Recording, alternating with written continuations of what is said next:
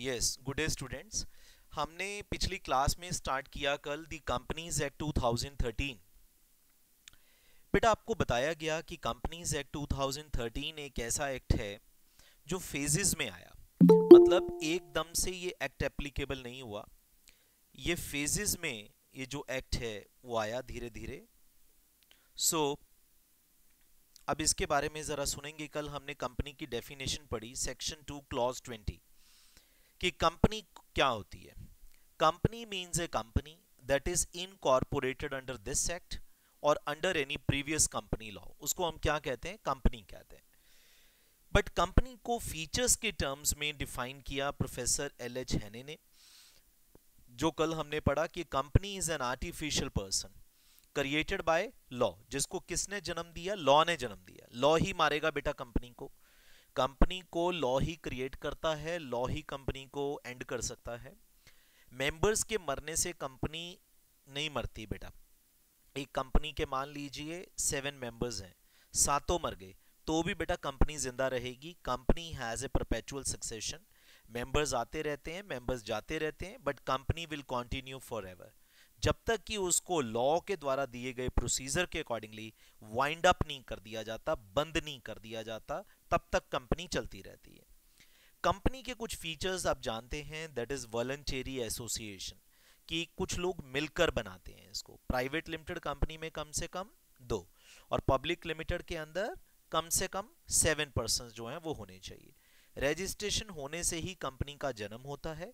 ये कंपनी का certificate of birth है। Certificate of incorporation is date of birth certificate of the company company का एक unique feature है बेटा कि it has you can say कि it has separate legal entity law की नज़रों में कंपनी की एक सेपरेट पहचान है। कंपनी अपने नाम पे एसेट लेती है। कंपनी अपने नाम पे लाइबिलिटीज इंकर करती है। कंपनी दूसरों को सीव कर सकती है इवन मेंबर्स को सीव कर सकती है। ठीक है? और मेंबर्स जो हैं, वो कंपनी को सीव कर सकते हैं और आउटसाइडर्स भी जो हैं, वो कंपनी को सीव कर सकते हैं। ये बातें बेटा हमने पढ़ी। नेक्स्ट बेटा ये बात केस पढ़ा, एक बहुत important case low that is Salomon versus Salomon and company limited जो ये सेपरेट लीगल एंटिटी के बारे में सारी बातचीत आती है ना, ये बेसिकली कहाँ से आती है? ये Salomon versus Salomon and company limited case इसी चीज़ को प्रोपाउंड करता है, इसी चीज़ को आगे बढ़ाता है। देन बेटा हमने बात करी लिमिटेड लाइबिलिटी की, कि हमारे देश में अनलिमिटेड लाइबिलिटी की कंपनी बनाना बिल्कुल आपको अलाउड है। आप अनलिमिटेड लाइबिलिटी की कंपनी बना सकते हैं बट कोई पर्सन बनाता नहीं है बेटा, है ना? क्यों बनाएगा कोई पर्सन जब आपको लिमिटेड लाइबिलिटी का ऑप्शन मिलता है then why you will form a company with unlimited liability so कोई अनलिमिटेड लाइबिलिटी की कंपनी हमारे देश में नहीं है। हमारे देश में जितनी कंपनीज़ हैं, पहले भी जो थी, वो सारी की सारी विद लिमिटेड लाइबिलिटी जो है, वही नेक्स्ट बेटा, हम बात कर रहे थे किस चीज़ की? परपेचुअल सक्सेशन मैंने बताया मेंबर्स आते रहते हैं मेंबर्स जाते रहते हैं शेयर चेंज हैंड्स करते रहते हैं। बट उससे कोई फ़र्क नहीं पड़ता। Company goes on forever company चलती रहती है। ये पढ़ना है बेटा, आज हमने कुछ और फीचर्स और लिमिटेशंस पढ़ेंगे कि कंपनी फॉर्म ऑफ़ ऑर्गेनाइजेशन के सिर्फ़ प्लस नहीं है, कुछ नेगेटिव पॉइंट्स भी हैं, कुछ लिमिटेशंस भी हैं that we will discuss today वो हम आज डिस्कस करेंगे।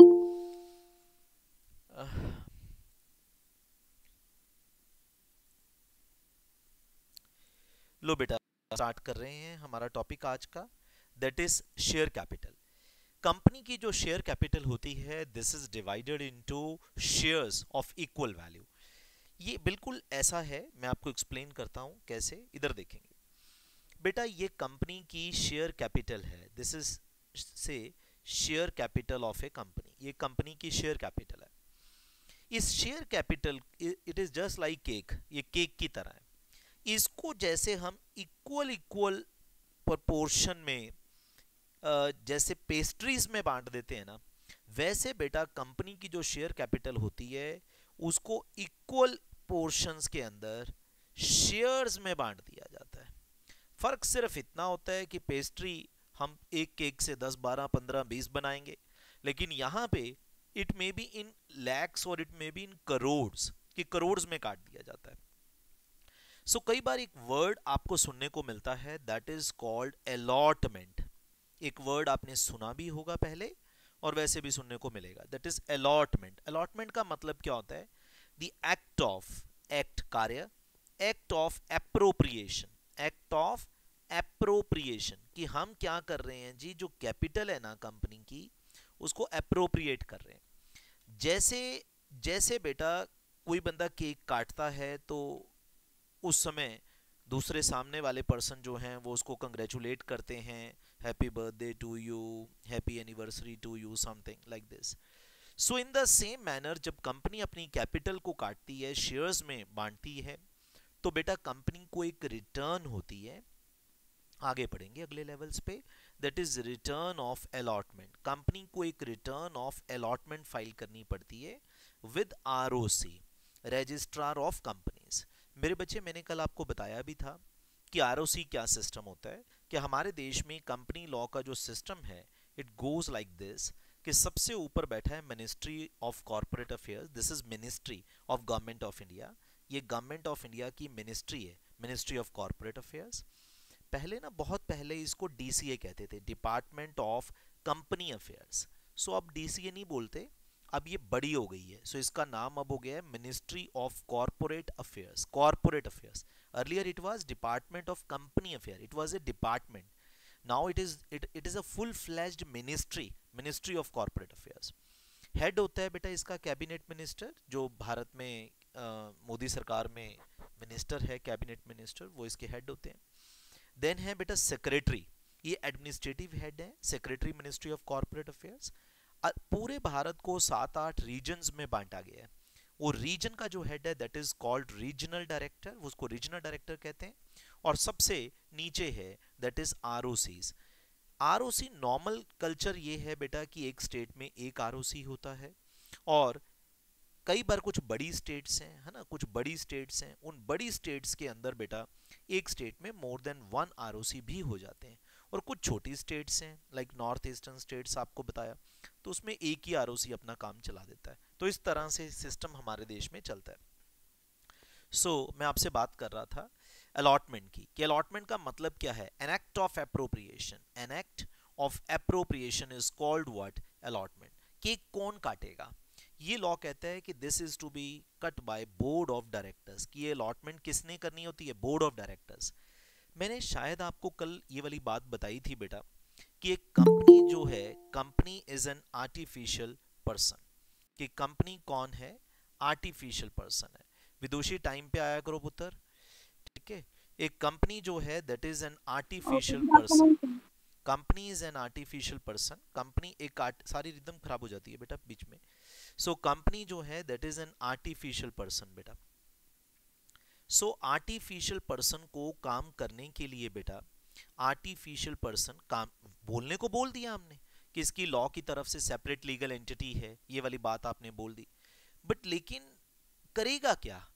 कुछ भी करना है तो उसको करने के लिए तो हार्ड मास का बंदा चाहिए कि नहीं चाहिए? सो कंपनी एक आर्टिफिशियल पर्सन है, इसको काम करने के लिए ह्यूमन एजेंसी की ज़रूरत पड़ती है। दो तरह की ह्यूमन एजेंसीज हैं जो कंपनी सेटअप के अंदर काम करती हैं।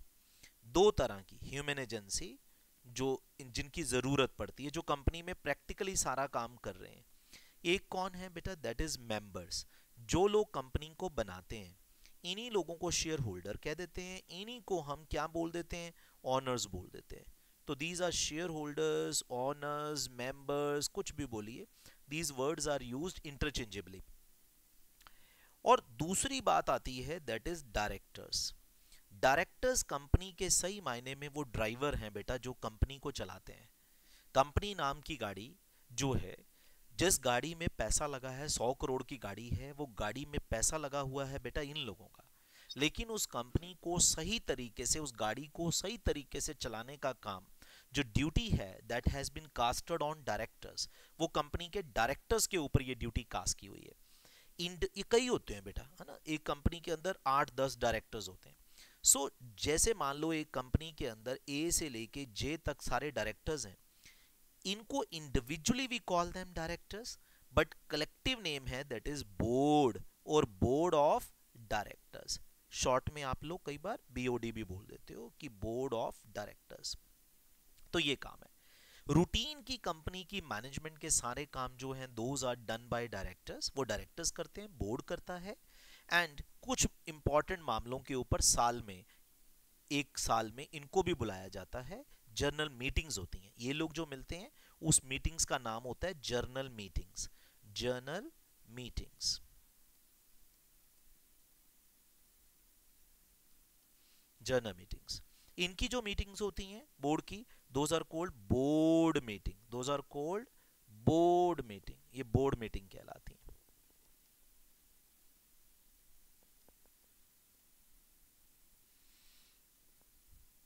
लो बेटा जी, अब मैं बात कर रहा था आपसे, उसी टॉपिक पे वापस चलते हैं, कि शेयर कैपिटल कंपनी की जो सारी शेयर कैपिटल है it is divided into certain specific number of shares units of equal value सब शेयर बराबर अमाउंट के होंगे। हाँ ये ज़रूर है, जिस किसी के पास ज़्यादा पैसे किसी ने इन्वेस्ट करने हैं that person will take more shares मैंने कम इन्वेस्ट करने हैं then I be taking 100 share 50 shares आपको ज़्यादा इन्वेस्ट करने हैं you may take 5000 share 10000 share 1 lakh share वो आप ले सकते हो कंपनी के अंदर।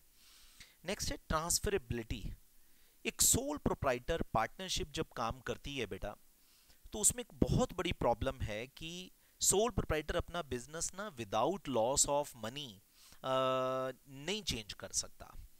आप कोई भी, कोई पर्सन है, रब ना करे किसी को किसी का अपना बिज़नेस चेंज करना पड़े it is very painful but anyway कि कोई बंदा कोई बिज़नेस करता है मेरे बच्चे तो आप ये लगा के चलिए करियाने की दुकान करता है और वो कहता मैं करियाने की दुकान बदलना चाहता हूँ और कपड़े की दुकान करना चाहता हूँ।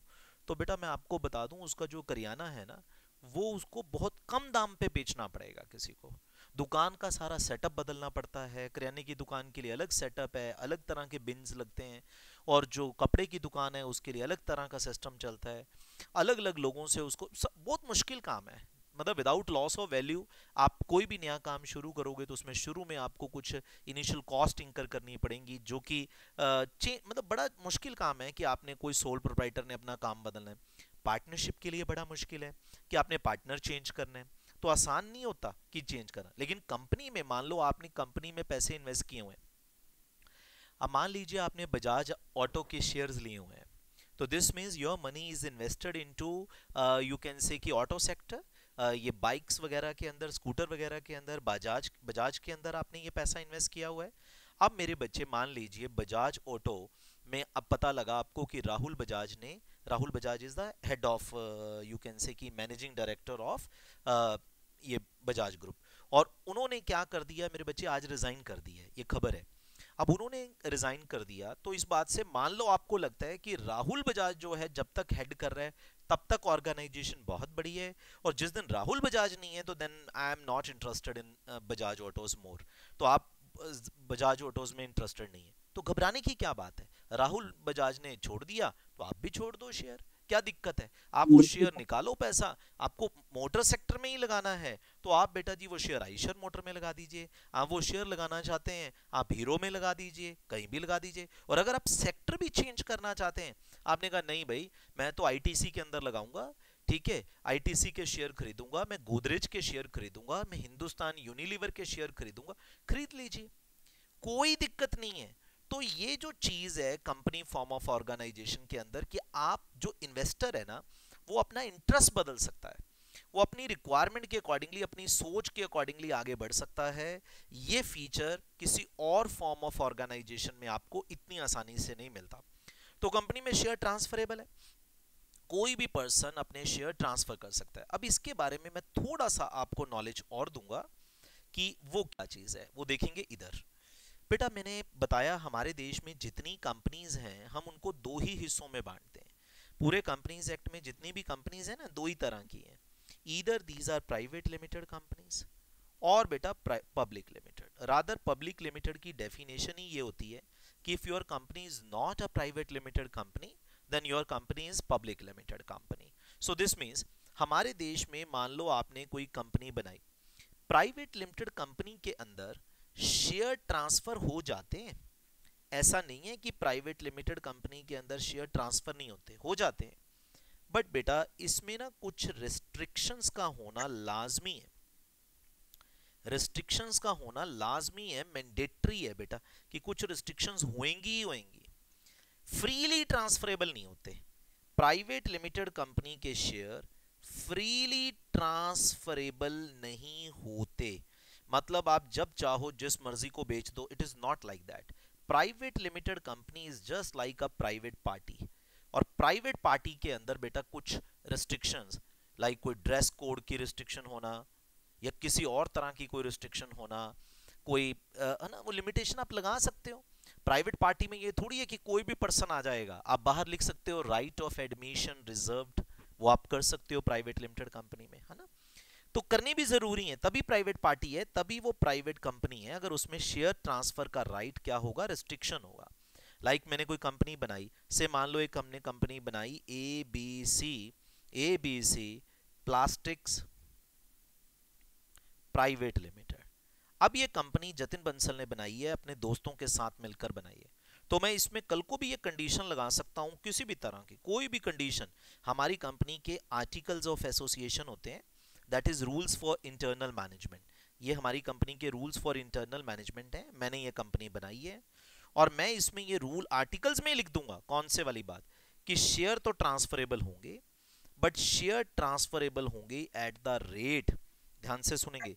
शेयर ट्रांसफरेबल होंगे। मैं कोई भी एग्जांपल दे रहा हूँ आपको कि शेयर ट्रांसफरेबल होंगे at a rate to be decided by, at a rate to be decided by board of directors of the company.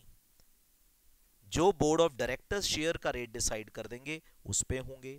मैं इसमें और कहानी डाल सकता हूँ। मान लो इस कंपनी का नाम है ए बी सी की बजाय अग्रवाल प्लास्टिक प्राइवेट लिमिटेड तो I can put the condition कि इसमें जो बंदा मेंबर बनेगा that person must be an an Agarwal वो अग्रवाल होना चाहिए। मीन्स अगर वो बनिया नहीं है, अग्रवाल नहीं है देन शेयर उसके नाम पे ट्रांसफ़र नहीं होंगे। This are hundred percent valid hundred percent valid you can say की रिस्ट्रिक्शंस ये मैं लगा सकता हूँ। कोई मुझे ये नहीं कह सकता कि why you are imposing such restrictions अरे भाई प्राइवेट कंपनी है यार। हम अपनी जरूरतों के अनुसार बना रहे हैं, जनता के लिए नहीं बनाई हमने ये। ये हमारी जरूरतों के लिए बनाई हुई है। जैसे हम बनाना चाहें, वैसे ही बना सकते हैं। रिस्ट्रिक्शंस को लॉ सिर्फ़ ये कहता है कि रिस्ट्रिक्शंस को लगाना मैंडेटरी है।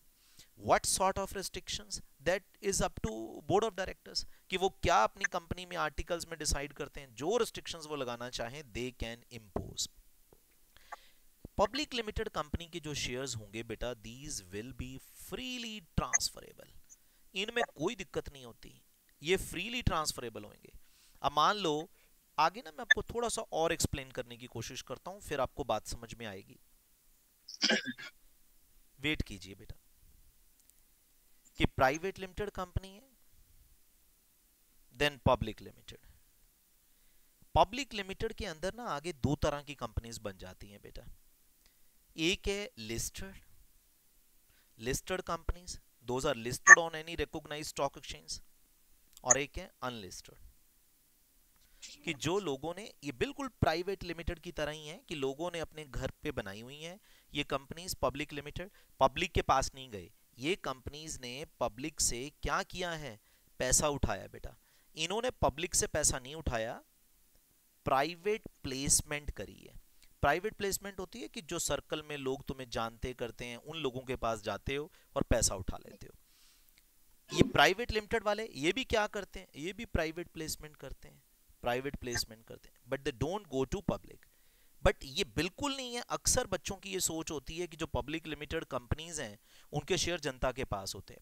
हमारे देश में चार लाख के करीब पब्लिक लिमिटेड कंपनीज़ हैं, उनमें से लिस्टेड सिर्फ़ फिफ्टी फाइव हंड्रेड है बेटा, ठीक है? So you can now just see कि ये परसेंटेज टर्म में भी एक डेढ़ परसेंट कंपनीज़ हैं, सिर्फ़ जो लिस्टेड है। पूरे देश में अगर मान लो चौदह लाख कंपनीज़ हैं तो देश में लिस्टेड कंपनियों की संख्या जस्ट 5500 है।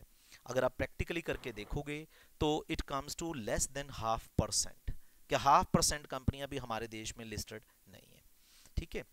तो एक मिनट में आपको टाइम दूँगा, जो आपने पूछना होगा तो शेयर ट्रांसफरेबिलिटी की बात हो रही है कि shares of a company are movable property ये मूवेबल प्रॉपर्टी है एंड कैन बी ट्रांसफर्ड और उनको ट्रांसफ़र किया जा सकता है from one person to another कैसे? किस तरीके से ये ट्रांसफ़र हो सकते हैं? उसका जो मैनर होएगा, किस तरीके से होंगे तरीका that will be provided in the articles of association of the company share transferable हैं but these are not negotiable instrument ये अभी आपने नहीं देखना। अब शेयर ट्रांसफरेबिलिटी बेटा एक कितना बड़ा फीचर है। आपको महसूस होता है, मैंने अभी आपको एग्जांपल दी, कि इस ग्रुप में I want to invest then you may invest if you want to change it you can change it any time आपको कोई किसी से परमिशन अप्रूवल लेने की ज़रूरत नहीं है। लेकिन बताया मैंने कि प्राइवेट लिमिटेड कंपनीज़ के केस में certain restrictions are placed on the right of member to transfer it shares and ये होना मैंडेटरी है बेटा। जब आप प्राइवेट लिमिटेड कंपनी की डेफिनेशन पढ़ोगे then you will understand this कि क्यों रिस्ट्रिक्शंस का होना मैंडेटरी है कि प्राइवेट पार्टी में अगर रिस्ट्रिक्शन कोई नहीं तो बेटा वो प्राइवेट पार्टी रहेगी कैसे? आप सोच के देखिएगा, आपको पता लगेगा। ठीक है? कि कोई आप फ़ंक्शन कर रहे हो, एक कोई भी यहाँ पे ना, कोई भी होटल कुछ भी ले लो, अपना कोई किसी भी जगह के ऊपर आप मैरियट में बैठे हैं जे डब्ल्यू मैरियट में आप पार्टी कर रहे हो अपनी। ठीक है? पार्टी कर रहे हो और वहाँ पे उन्होंने आपको एक हॉल दे दिया कि this is for your birthday party अब वहाँ पे पता लगे लोग अभी भी बाहर से, लोग जो हैं, वो आई जा रहे हैं। और वो जाई जा रहे हैं। कोई आके बैठ गया, कोई और कर गया, यहाँ पे तुम्हारी पार्टी स्टेज लगा है यहाँ पे तुम्हारी पार्टी चल रही है। तो मुझे बताओ how it is your private party ये तुम्हारी प्राइवेट पार्टी कैसे हुई? जब कोई भी जनता का बंदा उसमें आ सकता है, कोई भी जनता का बंदा उसमें जा सकता है then how it is a private party ये तो फिर वैसे ही हो गया कि तुम जाकर सिंधी स्वीट्स में बैठ जाओ फ्रेंड्स अपनी पार्टी करने लग जाओ तो फिर बुक क्यों करवाया था? है ना? आपने टैक्सी बुक करवा ली। अब टैक्सी बुक कराने के बाद अगर वो टैक्सी वाला फिर भी कहीं पे रास्ते में रोक ले और क्या बोले इनको भी आने दो जी उनको भी आने दो। Then how it is chartered taxi वो तुम्हारी टैक्सी कैसे हो गई? वो तो फिर कोई भी किसी के लिए भी टैक्सी रुक जाएगी उस चीज़ के लिए। सो so, प्राइवेट नहीं आप उस वो कहला सकती। प्राइवेट तभी कहलाएगी जब उसमें some sort of restrictions will be there ये होनी मैंडेटरी है। आगे डिटेल में आएगा जब ये डेफिनेशन आएगी तो। नेक्स्ट है बेटा separation of ownership and management ये क्या चीज़ है? मैंने आपको आज भी बताया और ये हमने कल भी ये पढ़ा था कि एक कंपनी आर्टिफिशियल पर्सन है। लाखों लोग बेटा इस कंपनी में क्या कर सकते हैं? इन्वेस्ट कर सकते हैं। मैंने कल भी आपको ये वाली बात बताई थी कि हमारे देश में जब हम कंपनीज़ की बात करते हैं तो प्राइवेट है या पब्लिक है? प्राइवेट कंपनी के अंदर जो नंबर ऑफ़ मेंबर्स हैं वो मिनिमम जो है दैट इज़ सेवन लेकिन अगर मैक्स बोलोगे तो दैट इज़ 200 ये भी लिमिट है कि 200 से ज़्यादा मेंबर नहीं हो सकते प्राइवेट लिमिटेड कंपनी में। पब्लिक लिमिटेड कंपनी में मिनिमम है मिनिमम है सेवन एक मिनट इधर दो आएगा टू आएगा। गलत लिख दिया मैंने। टू टू कल बताया भी था। और इसमें मिनिमम आ गया बेटा सेवन और जो मैक्स है देर इज़ नो लिमिट कोई लिमिट नहीं है बेटा। अगर आपकी कंपनी लिस्टेड होती है ना, जैसे मैंने अभी बताया कि प्राइवेट, पब्लिक लिमिटेड में तुम्हारी कंपनी क्या हो सकती है, लिस्टेड भी हो सकती है। तो बेटा, ऐसी कंपनियों में तो आप ये लेके चलो, अब जैसे रिलायंस इंडस्ट्रीज़ लिमिटेड जैसी कंपनी है नेशनल थर्मल पावर कॉरपोरेशन जैसी बहुत सी कंपनीज़ हैं, मैं जस्ट एक दो के नाम लिख रहा हूँ। तो इन कंपनीज़ में जो मेंबर्स हैं ना बेटा those are members are in crore crore में है बेटा मेंबर लाखों में भी नहीं है, करोड़ में मेंबर है। अब जिन कंपनियों में लाखों में, करोड़ों में मेंबर हों तो हम ये वाली बात कर रहे हैं कि ये कितना बड़ा फीचर है कि आप आप उसमें पॉसिबल है क्या कि ऑनर जो है, वही मैनेजमेंट को चलाएँ? इज़ इट पॉसिबल कि ऑनर जो है, वही मैनेजमेंट को चलाएँ? क्योंकि मेंबर जो हैं, ये they are owners and they are in crore तो करोड़ एक गाड़ी है, मान लो रिलायंस इंडस्ट्रीज़ लिमिटेड नाम की एक गाड़ी है। ठीक है, उस गाड़ी के अंदर करोड़ों लोगों का स्टेक है तो क्या करोड़ों लोग उसका स्टेयरिंग पकड़ के चलाएँगे? फिर चल पड़ी गाड़ी। तो उसके लिए बेटा जी उनको क्या करना पड़ता है? मैंने पीछे बताया आपको कि दे अपॉइंट डायरेक्टर्स वो किसको अपॉइंट करते हैं? मेंबर्स अपॉइंट करते हैं। किसको? वो डायरेक्टर्स को अपॉइंट करते हैं। एंड डायरेक्टर्स के हाथों में कंपनी की बागडोर जो है, वो सौंप दी जाती है कि directors will run the company in the best possible manner और अगर आपको ये महसूस हो मेंबर्स को, जब जनरल मीटिंग में वो आते हैं, कि ये तो ठीक नहीं चला रहे यार कंपनी तो देन दे में चेंज देम आप इनको चेंज कर सकते हो। तो वहाँ पे अपना रोल वो प्ले करते हैं। ये सब कुछ सीए फाइनल में या सीए इंटरमीडिएट लेवल पे आप लोग अगले लेवल पे इसको पढ़ेंगे। अभी नहीं पढ़ना। ना ही बीच में कहीं बुक में ये चीज़ें आनी है अभी।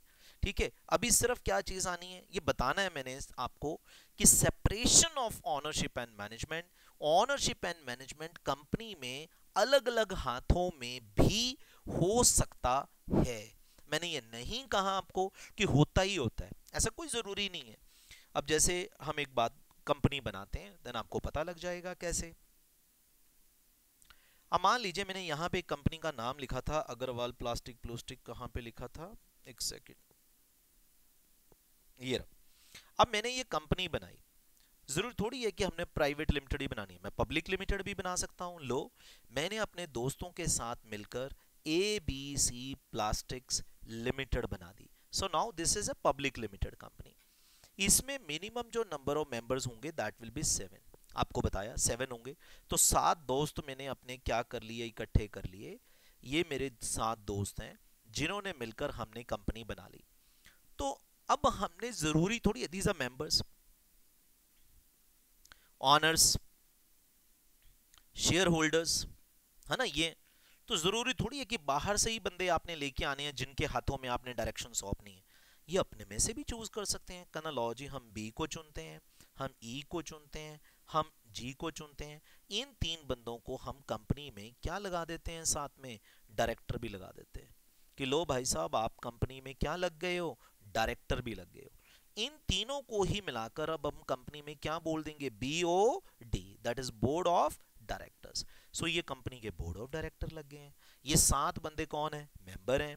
इन सात के बीच में से बी ई एंड जी ये तीनों कौन है? They are directors of the company ऐसा कोई लॉ ने मना नहीं किया कि जो ऑनर्स हैं they can not be directors अब रिलायंस इंडस्ट्रीज़ लिमिटेड में मुकेश अंबानी जो है, वो कौन है? सबसे बड़ा शेयर होल्डर है। सबसे बड़ा सबसे बड़ा शेयर होल्डर है बेटा वो। शेयर होल्डर है तो मतलब कौन है? मेंबर है कंपनी का। जैसे हम लोग मेंबर है, मेरे पास भी शेयर एयरलाइंस के तो उसके पास भी है मुकेश अंबानी के पास। लेकिन फ़र्क ये है, मुकेश अंबानी के पास सबसे बड़ा मेंबर है वो कंपनी के, सबसे ज़्यादा शेयर लेकर बैठा है। अब मेरे पास अगर मान लो सौ शेयर होगा तो मुकेश अंबानी के पास कितना शेयर होगा? हो सकता है दस करोड़ शेयर हो कंपनी का। इतने शेयर लेकर बैठा है वो।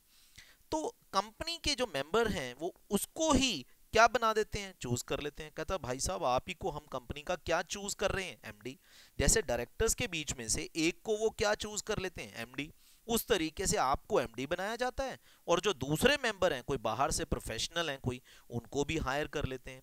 वो प्रोफेशनल को भी कंपनी में क्या लगाया जाता है? डायरेक्टर तो ऐसे कंपनी में वो बहुत से, कोई मेंबर के, कोई और मेंबर है कंपनी के अंदर। उस मेंबर को भी क्या लगाया जाता है डायरेक्टर ऐसे करके बेटा जी कंपनी का क्या बन जाता है? बोर्ड बन जाता है। और भी डायरेक्टर आएँगे, क्योंकि उसके पीछे एक और लॉ है, जो आपको पता होना चाहिए। मैं बता रहा हूँ। हमारे देश में जब हम बात करते हैं बेटा पब्लिक कंपनी की पब्लिक कम पहले प्राइवेट लिख लीजिए। हमारे देश में जब हम बात करते हैं प्राइवेट लिमिटेड कंपनी की प्राइवेट लिमिटेड कंपनी में मेंबर्स की बात तो आपको पता लग गई है कि मिनिमम मेंबर्स कितने होने चाहिए? टू मैक्सिमम मेंबर्स कितने होने चाहिए? टू हंड्रेड एक है डायरेक्टर्स आपको बताया ना डायरेक्टर्स भी तो होने चाहिए। तो लॉ उसमें कहता है मिनिमम मेंबर्स मिनिमम डायरेक्टर्स कितने होने चाहिए? टू ये भी दो डायरेक्टर होने चाहिए। मैक्सिमम के ऊपर एक और चीज़ है सीए फाइनल में पढ़ेंगे दैट इज़ 15 डायरेक्टर्स बट वो लिखना नहीं है। ठीक है? क्योंकि आज की डेट में उसको बढ़ाया जा सकता है। अगर कंपनी चाहे तो रेजोल्यूशन पास करके उसको बढ़ा सकती है स्पेशल रेजोल्यूशन पास करके। अभी आपने नहीं सुनना वो। देन है बेटा public limited public limited company के अंदर मेंबर्स भी हैं। पब्लिक लिमिटेड कंपनी के अंदर भी डायरेक्टर्स होते हैं। मेंबर्स आपको पता लगी गए हैं। मिनिमम कितने? सेवन मैक्स कितने? नो लिमिट कोई लिमिट नहीं जितने मर्ज़ी रख लो। और पुत्र डायरेक्टर्स के केस में इसमें जो मिनिमम डायरेक्टर रिक्वायर्ड है that is three that is three directors कि आपको तीन डायरेक्टर रखने पड़ेंगे।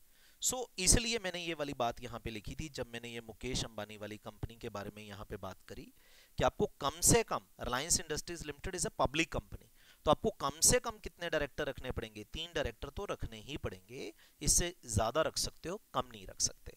प्राइवेट लिमिटेड में कम से कम दो डायरेक्टर जो है वो रखने पड़ेंगे। तो हम ये कंपनी के फीचर्स पढ़ रहे so management of a company is vested with the elected body of share holders called board of directors कि ये इलेक्ट करते हैं। किसको इलेक्ट करते हैं? Board of directors once the management is vested with the board share holders can interfere in day to day management share holders can not interfere in day to day management of the company आपने अपनी company की बागडोर किसके हाथों में सौंप दी है? That is in the hands of board of directors अब आप ये नहीं काम कर सकते कि भाई हाँ जी, रोज आ जाओ कंपनी के अंदर कि मैं तो शेयर होल्डर हूँ जी, मैं ये करना चाहता हूँ। कंपनियाँ घुसने भी नहीं देती शेयर होल्डर को अंदर। ये मैं आपको बता दूँ कि कंपनी के अंदर इंटरफेयर करना तो बहुत दूर की बात है। वो कहते हैं डे टू डे अफेयर्स में आप बीच में पार्टिसिपेट नहीं करोगे। कोई बोर्ड की मीटिंग हो रही हो, आप बड़े शेयर होल्डर हो। लेकिन मान लो आप डायरेक्टर अपॉइंटेड नहीं हो बीच में। और आप आकर बोलो कि कहता, मैं बीच में बैठना चाहता हूँ। बैठने भी नहीं देंगे तुम्हें कंपनी वाले। कहते, किस कैपेसिटी में बैठना चाहते हो? कहना शेयर होल्डर ये मीटिंग ही किसकी है? मेंबर्स की मीटिंग नहीं है। ये मीटिंग ही किसकी है? डायरेक्टर्स की मीटिंग है। And you are not director तो इसलिए आपको वहाँ बैठना अलाउड नहीं। नॉर्मल रूल है बेटा जी कि एक कंपनी जो जो काम कर सकती है ना प्रैक्टिकली वो सारे काम ऑलमोस्ट कौन कर सकता है? बोर्ड ऑफ़ डायरेक्टर्स कर सकते हैं। डेफिनेटली कुछ रिस्ट्रिक्शंस हैं। कि वो काम बोर्ड नहीं कर सकते, उसके लिए उनको मेंबर्स को बुलाना पड़ेगा मेंबर्स की मीटिंग आएँगी, पता लगेगा जब आएगा। अभी नहीं टेंशन पानी। बेटा, हमारा काम पता है क्या होता है? आप थोड़ी सी बात समझना। ये ना समुंदर है। ये जितने भी लॉज हैं या जितने भी सब्जेक्ट्स हैं, ये सब समुंदर हैं। सी हम लोग ना, आप लोगों को इस सी पे लेके भी चल, चलते हैं कि वैसे तो आपको ये स्विमिंग पूल में हम क्या कराते हैं स्विमिंग कराते हैं। बट लेके जाते हैं बीच बीच में समुन्द्र में लेके जाते हैं। बट जब लेके जाते हैं ना तो बाजू पकड़कर लेकर जाते हैं। तो बीच पर लेकर जाते हैं हम आपको।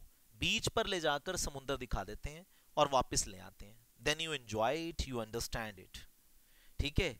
अगर आप बीच में चले गए ना बेटा, आपको बताऊँ, बीच पर जाना है, बीच में नहीं जाना। बीच में चले गए ना तो शायद वापस ना आ पाए कोई बच्चा। तो ये दिक्कत हो जाती है। सो इसलिए हमारी ड्यूटी होती है कि हम बाजू पकड़कर लेकर जाते हैं और बाजू पकड़कर वापस ले आते हैं कि देख लिया see so that is the क्योंकि आप सोच के देखो, जो सब्जेक्ट मैं आपको बोल रहा हूँ कि आपको तीन लेवल पे पढ़ना है फाउंडेशन में पढ़ना है इंटरमीडिएट पे पढ़ना है सीए फाइनल में पढ़ना है, यही कंपनीज़ एक्ट पढ़ना है एक्ट थोड़ी बदल जाएगा। तो इसका मतलब आपकी नॉलेज की लेवल जैसे बढ़ते जाएँगे only then you will be in a position to understand it तो जो नॉलेज आपको जब पल्ले डालनी है जब आपको समझ आनी चाहिए देन ये इट इज़ माय ड्यूटी कि वो नॉलेज आपको उस समय आ जाएगी। ठीक है?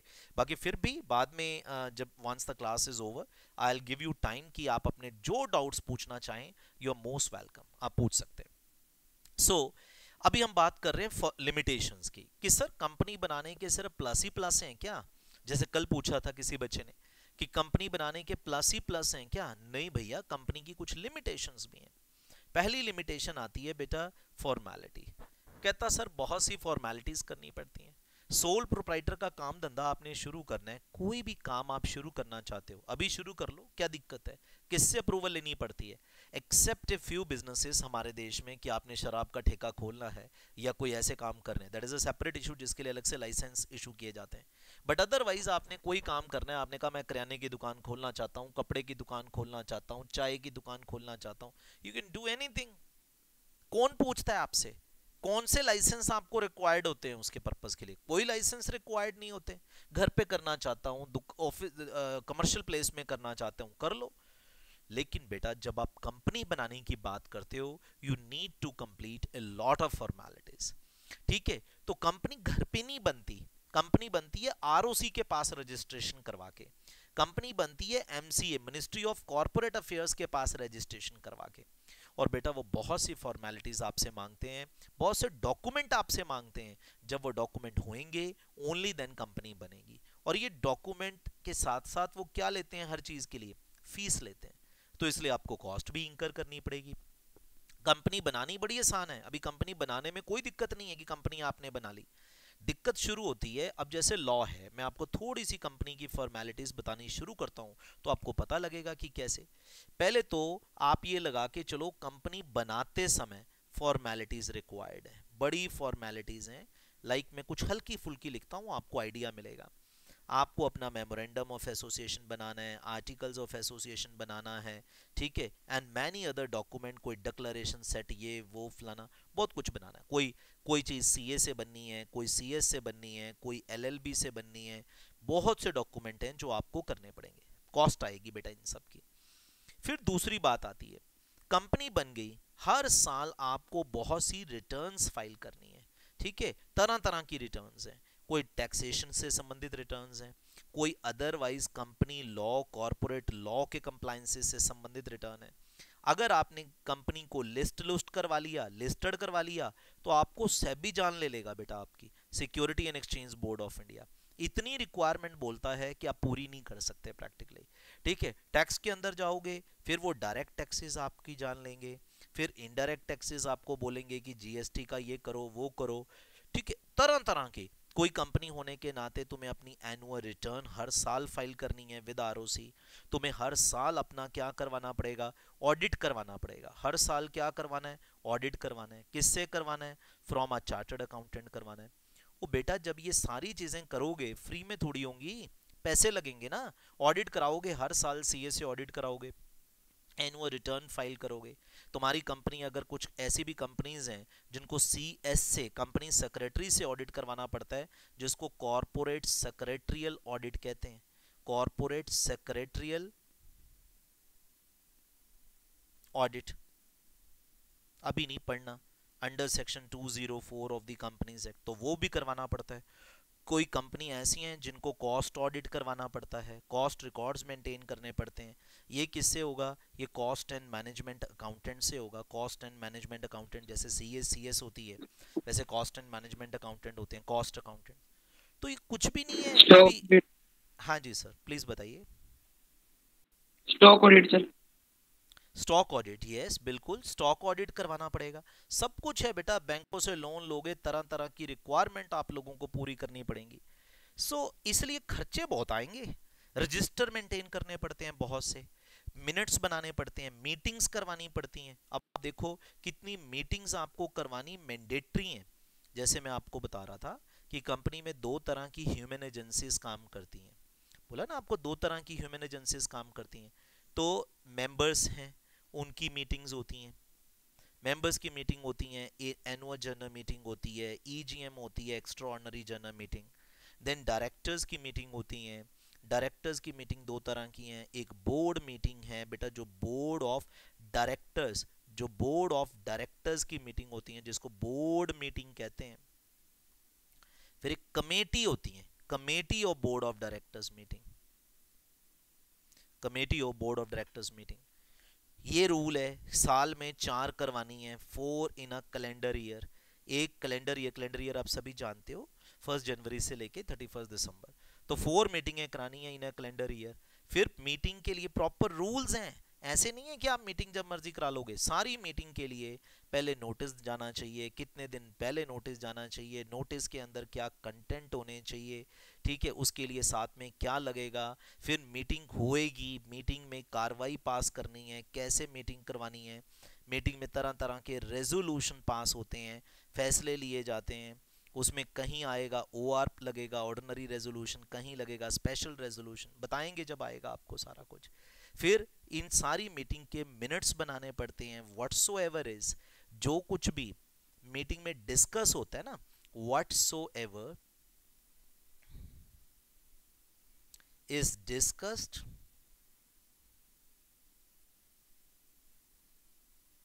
and decided in meetings जो मीटिंग्स में डिस्कस हुआ और डिसाइडेड हुआ उसके रिटर्न रिकॉर्ड उसके return record of that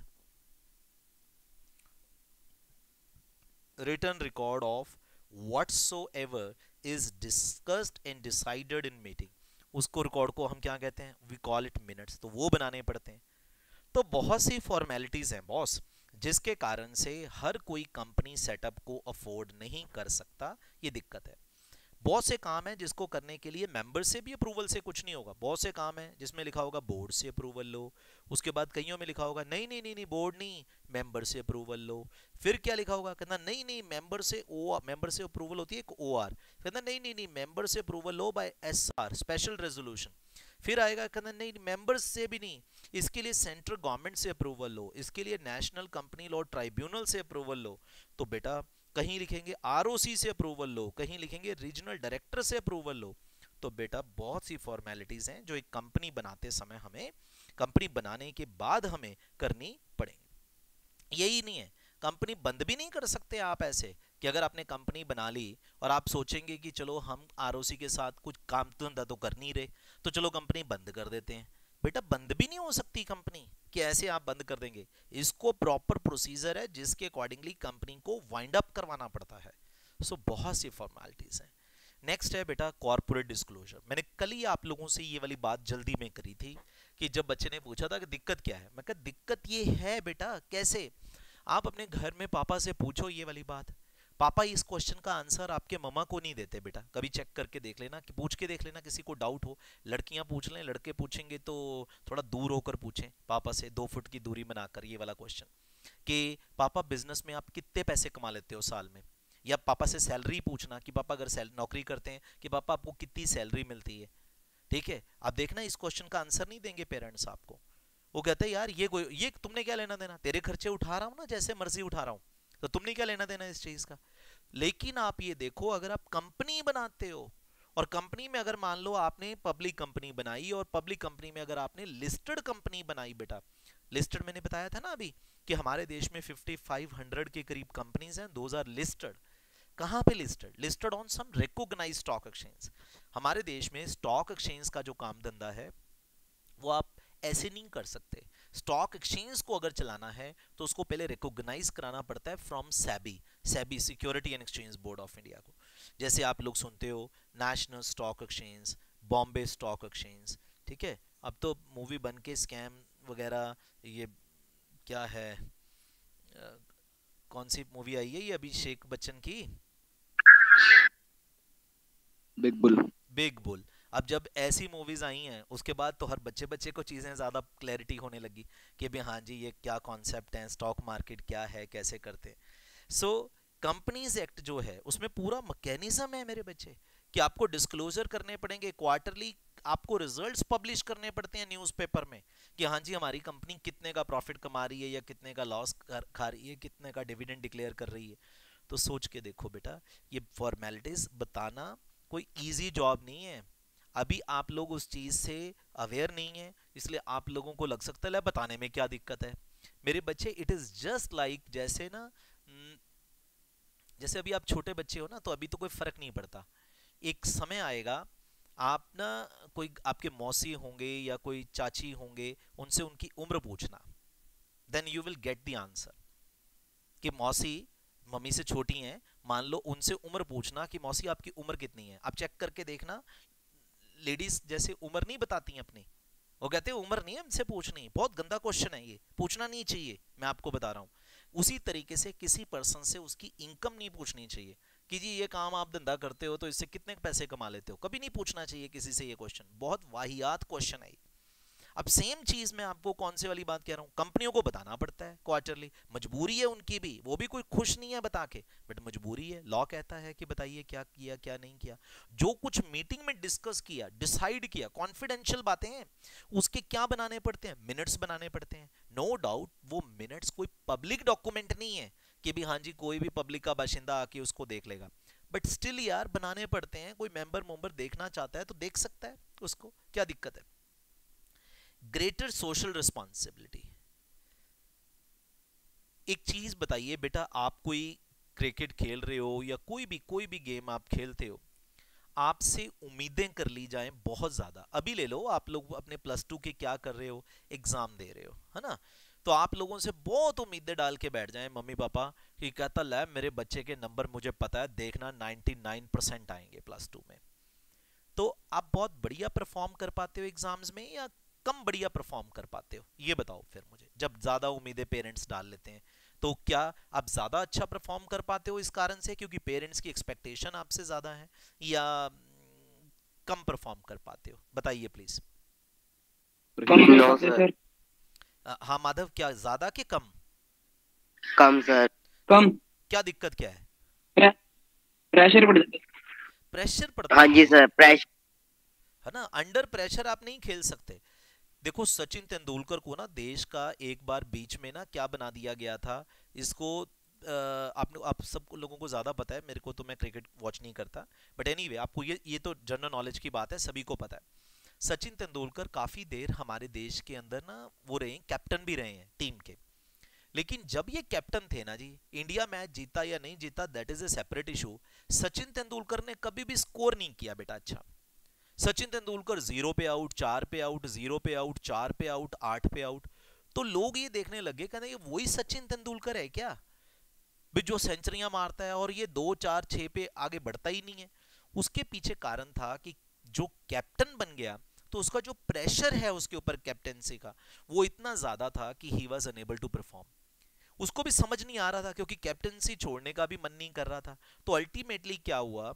कि किसी सियाने बंदे ने उसको पुराने बंदों ने उसको राय दी कि कहते तू सचिन तेंदुलकर है तुझे ज़रूरत नहीं है एक कैप्टन कुप्टन बनने की छोड़ दे इसको और फिर देख तू कैसे परफॉर्म करता है। और वही बात हुई उसने कैप्टनसी छोड़ी उसके बाद मेरे बच्चे वो फिर उसने सेंचुरियाँ लगानी शुरू कर दी। प्रेशर बहुत बड़ी चीज़ होती है। आप आप आप आप, आप अच्छा भला बोल रहे हो मेरे साथ हेलो हाय कर रहे हो। अभी मैं आप में से कित सभी बच्चों को इंडिविजुअली स्टेज पे बुला लेता हूँ और मैंने कहा, यहाँ पे खड़े होकर बोलिए और मेरे से क्वेश्चन कीजिए। यू जस्ट चेक तुम में से कितने बच्चे वो क्वेश्चंस पूछ पाते हैं। ठीक है? क्योंकि रीजन बीइंग वो स्टेज फोबिया अपना रोल प्ले करना शुरू कर देता है। वो प्रेशर प्रेशर आ जाता है और आदमी परफॉर्म नहीं कर पाता। बेटा कंपनी के ऊपर बहुत सा प्रेशर है। अभी आपको बता रहा हूँ कैसे। एक सोल प्रोप्राइटर आदमी बेटा कोई धर्म का काम करता है तो अपनी इच्छा से करता है, नहीं करता तो नहीं करता। स्टाफ को बोनस देता है दिवाली पे तो देता है, नहीं देता तो नहीं देता। दो करियाने की दुकानें हैं, मान लो इकट्ठी, गौरव की और मेरी। गौरव अपनी दुकान पे जो लड़का रखता है, उसको प्रॉपर दिवाली पे बोनस भी देता है, सब कुछ देता है। काम भी कराता है और बोनस भी देता है। मेरी दुकान पे मैं सिर्फ़ काम ही करवाता हूँ, बोनस नहीं देता बेटा। और हुआ क्या वो लड़का मुझे कहता कहना जी साथ वाली दुकान पे जी देखो जी लड़के को बोनस भी मिला है काम कराते कराते साथ साथ तनख्वाह के साथ साथ मैं कहा ये जो तेरे को मिठाई का एक छोटा डिब्बा दिया है ना मैं कहा ये ले जाना है ले जा नहीं ले जाना यहीं पे रख दे। और कल से साथ वाली दुकान पे ज्वाइन कर लियो बेटा मेरे पास आने की ज़रूरत नहीं है। आप सोच के देखो मेरे बच्चे क्या उस बंदे की, की ये होती है कि भी हाँ जी मैं ये नौकरी छोड़ दूँ या इस तरह के हालात की वो आ, मेरे को कुछ कर सके वर्कर्स कुछ नहीं कर सकते बेटा। क्योंकि एक्सप्लॉटेशन होता है उनका इन जगहों पे। लेकिन जब आप एक बड़े ऑर्गेनाइजेशन में काम करते हो, वहाँ पे वर्कर्स की यूनियन होती है बेटा। अब आप एक कंपनी में काम करते हो, जहाँ पे टाटा की किसी कंपनी में काम करते हो, चार हज़ार का स्टाफ वहाँ पे काम कर रहा है। तीस हज़ार का स्टाफ काम कर रहा है। हमारे देश में ऐसी ऐसी कंपनीज़ हैं जिसमें एक एक लाख का स्टाफ काम कर रहा है।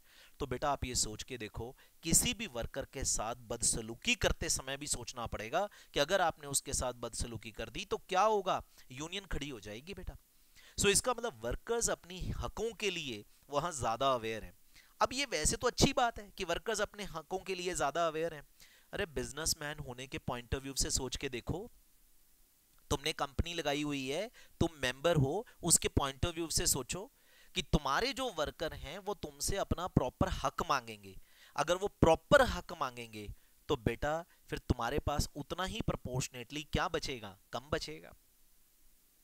मेंबर्स डिविडेंड मांगना शुरू कर देते हैं। मेंबर्स कहते हैं कि हमें जी डिविडेंड मिलना चाहिए। बहुत से लोग हैं जो कहते हैं कि हमने तो रिटायर होकर अपना पैसा फलानी कंपनी के शेयर्स में लगा दिया।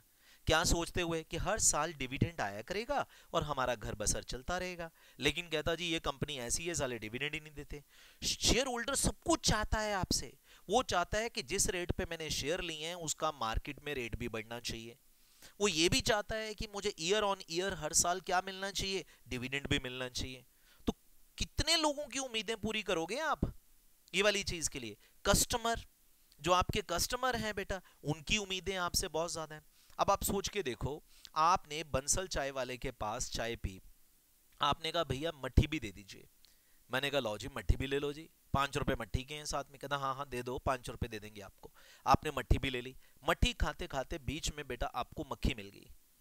और आपने क्या कहा, कहना, भैया, ये क्या है? मैं कहा, क्या है ये? मक्खी है? कहते, मक्खी है? तो कहते कहते कहते, ये वाली हमें खिलाओगे? मैं इसके तो पैसे नहीं लिए मैंने अभी।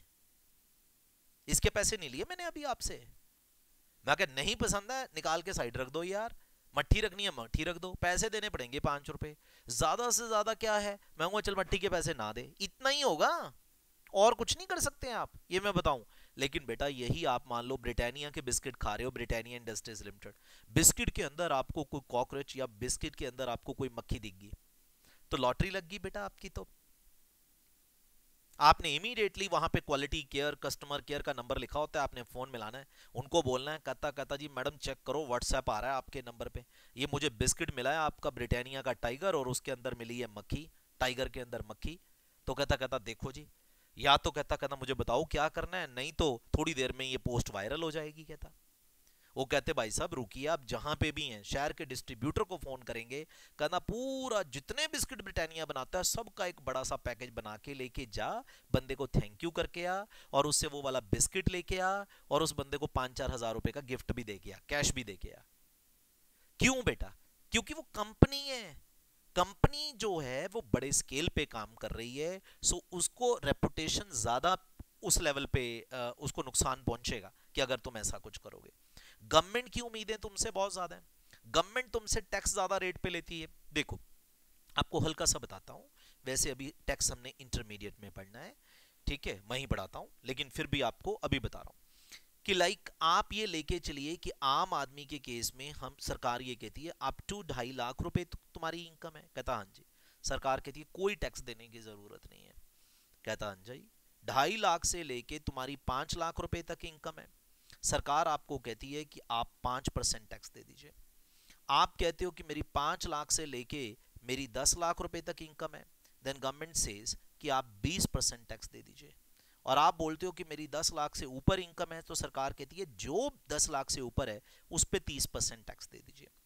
मतलब समझिए बेटा, जो मैं आपको बातें बता रहा हूँ, कि सरकार आपको क्या कहती है कि आपको टैक्स देना स्लैब्स के अकॉर्डिंगली जितनी आप इनकम ज़्यादा कमाते हो, उसके accordingly you need to pay tax ठीक है? ये सिस्टम है। लेकिन से आपने कंपनी खोली हुई है। आपको सारे साल में सिर्फ़ एक लाख रुपए का प्रॉफिट हुआ। आपको पता है बेटा, इसके ऊपर भी आपको टैक्स देना पड़ेगा। और ये कोई वो नहीं है। एक लाख छोड़ो, एक रुपए का भी प्रॉफिट हुआ तो उस एक रुपए के ऊपर भी आपको टैक्स देना पड़ेगा।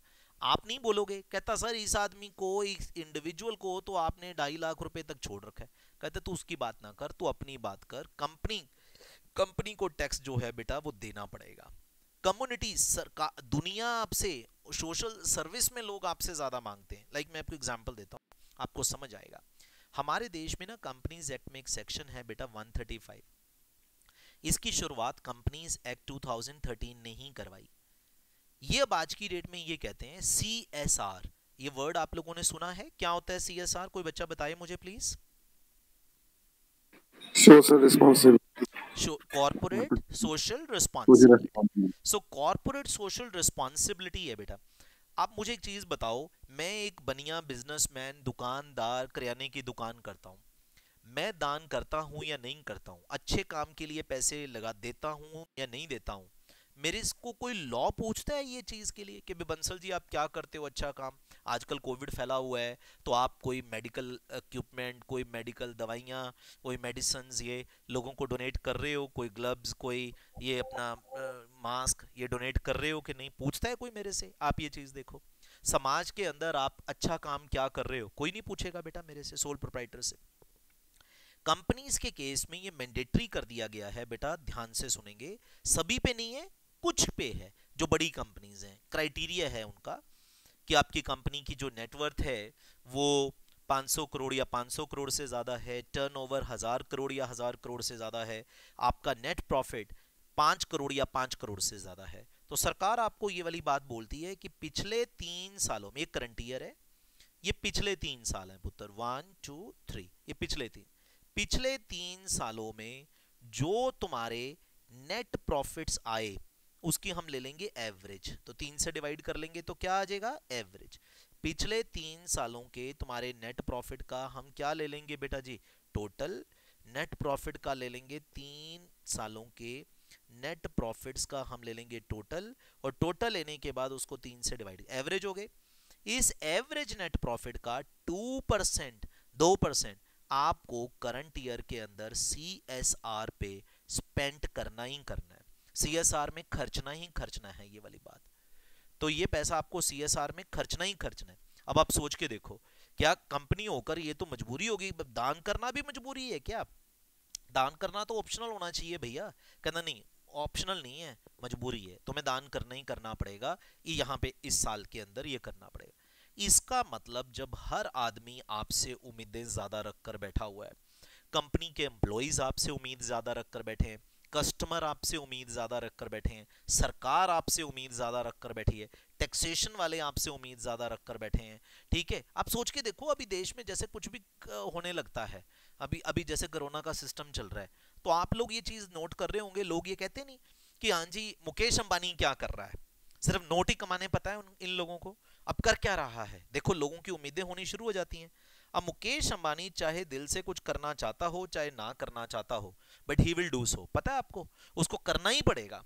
नहीं करेगा, लोग उसकी ये पूछ पूछ के जान ले लेंगे। कहना मुकेश अंबानी साहब, क्या किया आपने? देश में पैसे कमाते हो, हर साल दुनिया के, एशिया के सबसे अमीर आदमी डिक्लेयर हो गए हो, भारत के दम पे हुए हो, और आप देखो, भारत की जनता मर रही है और आप कर क्या रहे हो? देखो, उसको मजबूरी वश करना पड़ेगा बेटा। अगर नहीं भी करना चाहता तो। नेक्स्ट है बेटा ग्रेटर टैक्स बर्डन कंपनी को ना टैक्स भी क्या लगता है? ज़्यादा रेट पे लगता है। मैंने अभी आपको एक्सप्लेन किया हाईएस्ट रेट पे टैक्स लगता है डबल टैक्स लगता था। अब तक लगता था, अब कम लगता है। ठीक है? ये मैं आपको थोड़ा सा एक्सप्लेन कर देता हूँ कैसे कि ये भी क्या कॉन्सेप्ट है। इधर देखिए जरा।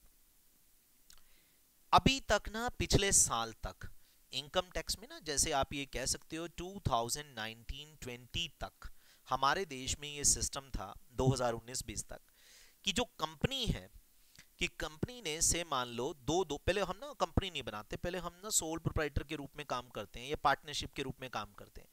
ए एंड बी ये दो दोस्त हैं, इन्होंने बना रखी थी A B and associates A B and associates एक इन्होंने फर्म बना रखी थी। ए एंड बी दो दोस्त हैं बेटा, दोनों ने क्या बना रखी थी? ए बी एंड एसोसिएट्स एक फर्म बना रखी थी। से मान लो बेटा, इनकी फर्म के प्रॉफिट हैं दैट इज़ बिफोर टैक्स एक लाख रुपए का इनका प्रॉफिट है। फर्म को भी बेटा कोई स्लैब नहीं मिलती। फर्म को भी सीधे टैक्स लगता है। तो एक लाख रुपए का इन पार्टनर्स का प्रॉफिट है। तो बेटा इनको जैसे थर्टी परसेंट पे टैक्स लग जाएगा। टैक्स लग गया थर्टी परसेंट टैक्स तो तीस हज़ार रुपया ये टैक्स इनका हो गया। अब बेटा इनके पास जो बचा that is seventy thousand rupees this is profit P profit after tax this is profit before tax and this is profit after tax अब ये सत्तर हज़ार मान लो, दोनों दोस्त कहते अब आप भी तो बांट लें, अपना ही शेयर है। तो ए और बी को जो शेयर मिल जाता है that is thirty five thousand मिल गया और ये थर्टी फाइव थाउज़ेंड मिल गया। बेटा, ये पैसा इन लोगों के हाथों में टैक्स फ्री होता है। ये पैसा जो शेयर इन प्रॉफिट्स मिलता है from the partnership firm share in profits इनको जो पार्टनरशिप फर्म से शेयर इन प्रॉफिट्स मिलता है इनकम टैक्स एक्ट के अंदर, ये पैसा टैक्स फ्री है, इस पे पार्टनर को टैक्स देने की ज़रूरत नहीं है। क्यों नहीं देने की ज़रूरत? आप लोग समझते हैं।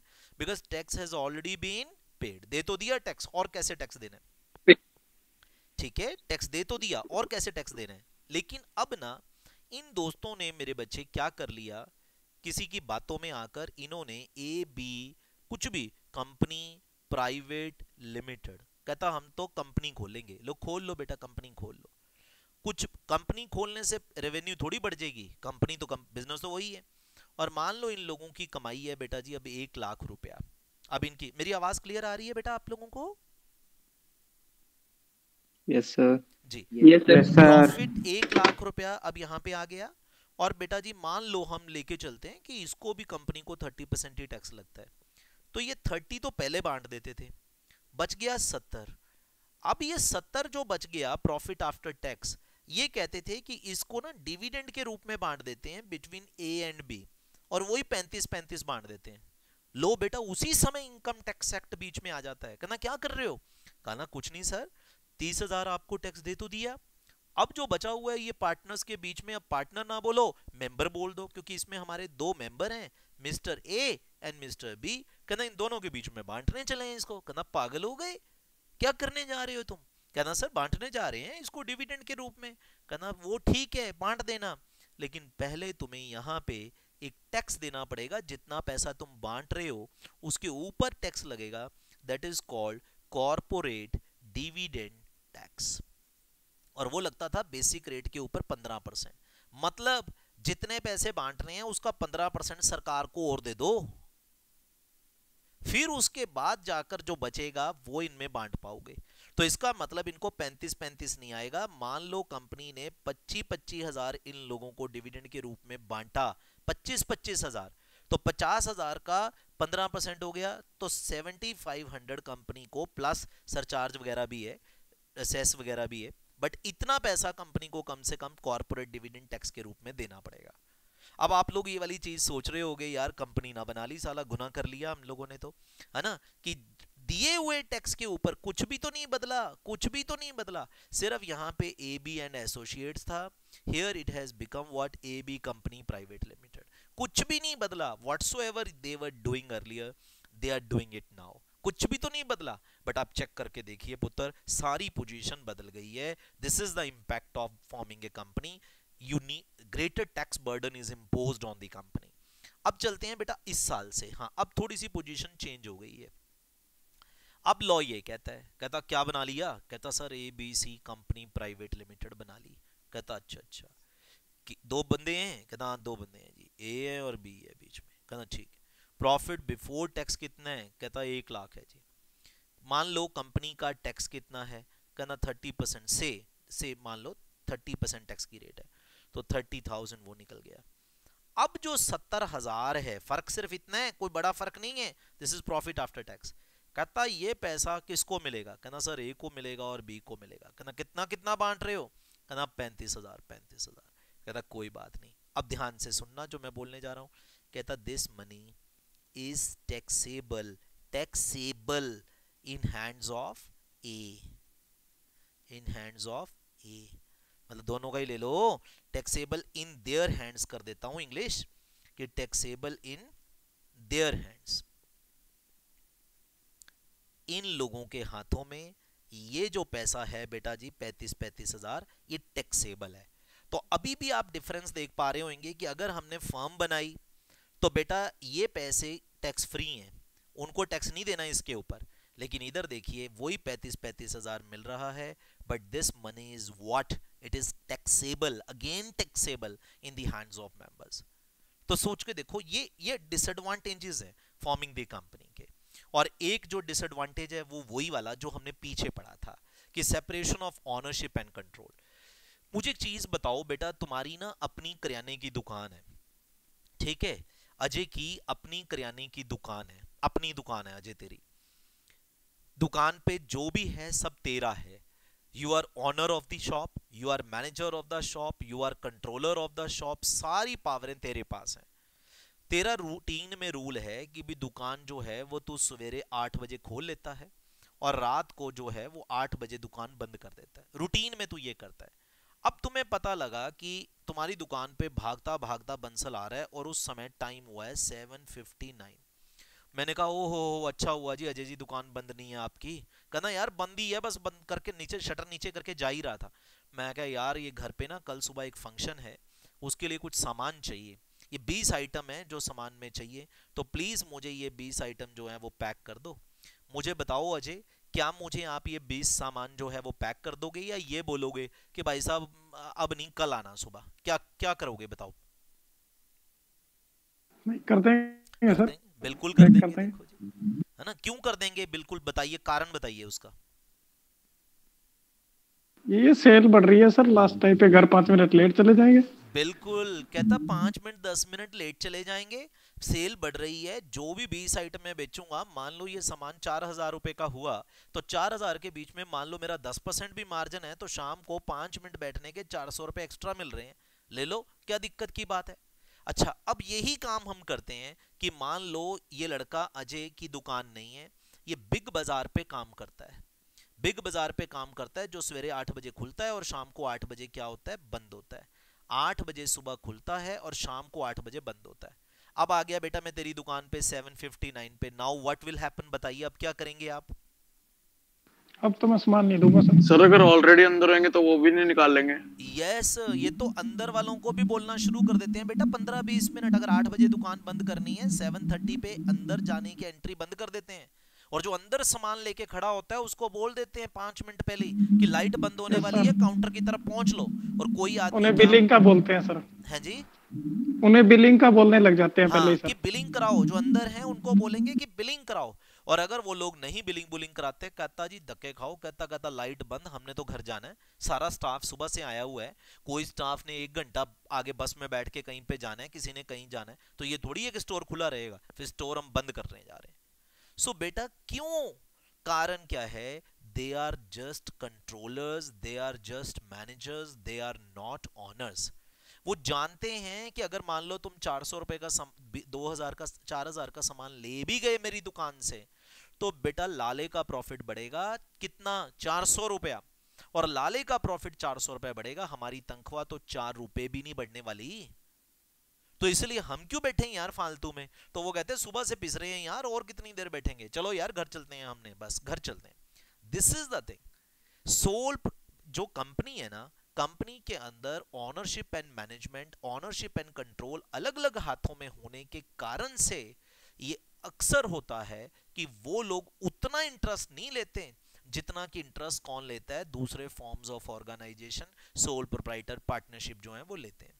ये भी एक इशू है। ठीक है? नेक्स्ट क्या आता है? दे आर नॉट जो जो लोग हैं उनको मेंबर्स को ना कोई ये नहीं होता access to the books of accounts of the company ये मैं क्या बता रहा हूँ? ध्यान से सुनेंगे। आप ना एक नई बात है, आप लोगों को अभी इस लेवल पे आप लोगों ने नहीं पढ़ी हुई, लेकिन आगे तो पढ़ी लोगे। एक बंदा है बेटा, एक कंपनी है, उस कंपनी में एक बंदा है शेयर होल्डर जिसका नाम है राजू।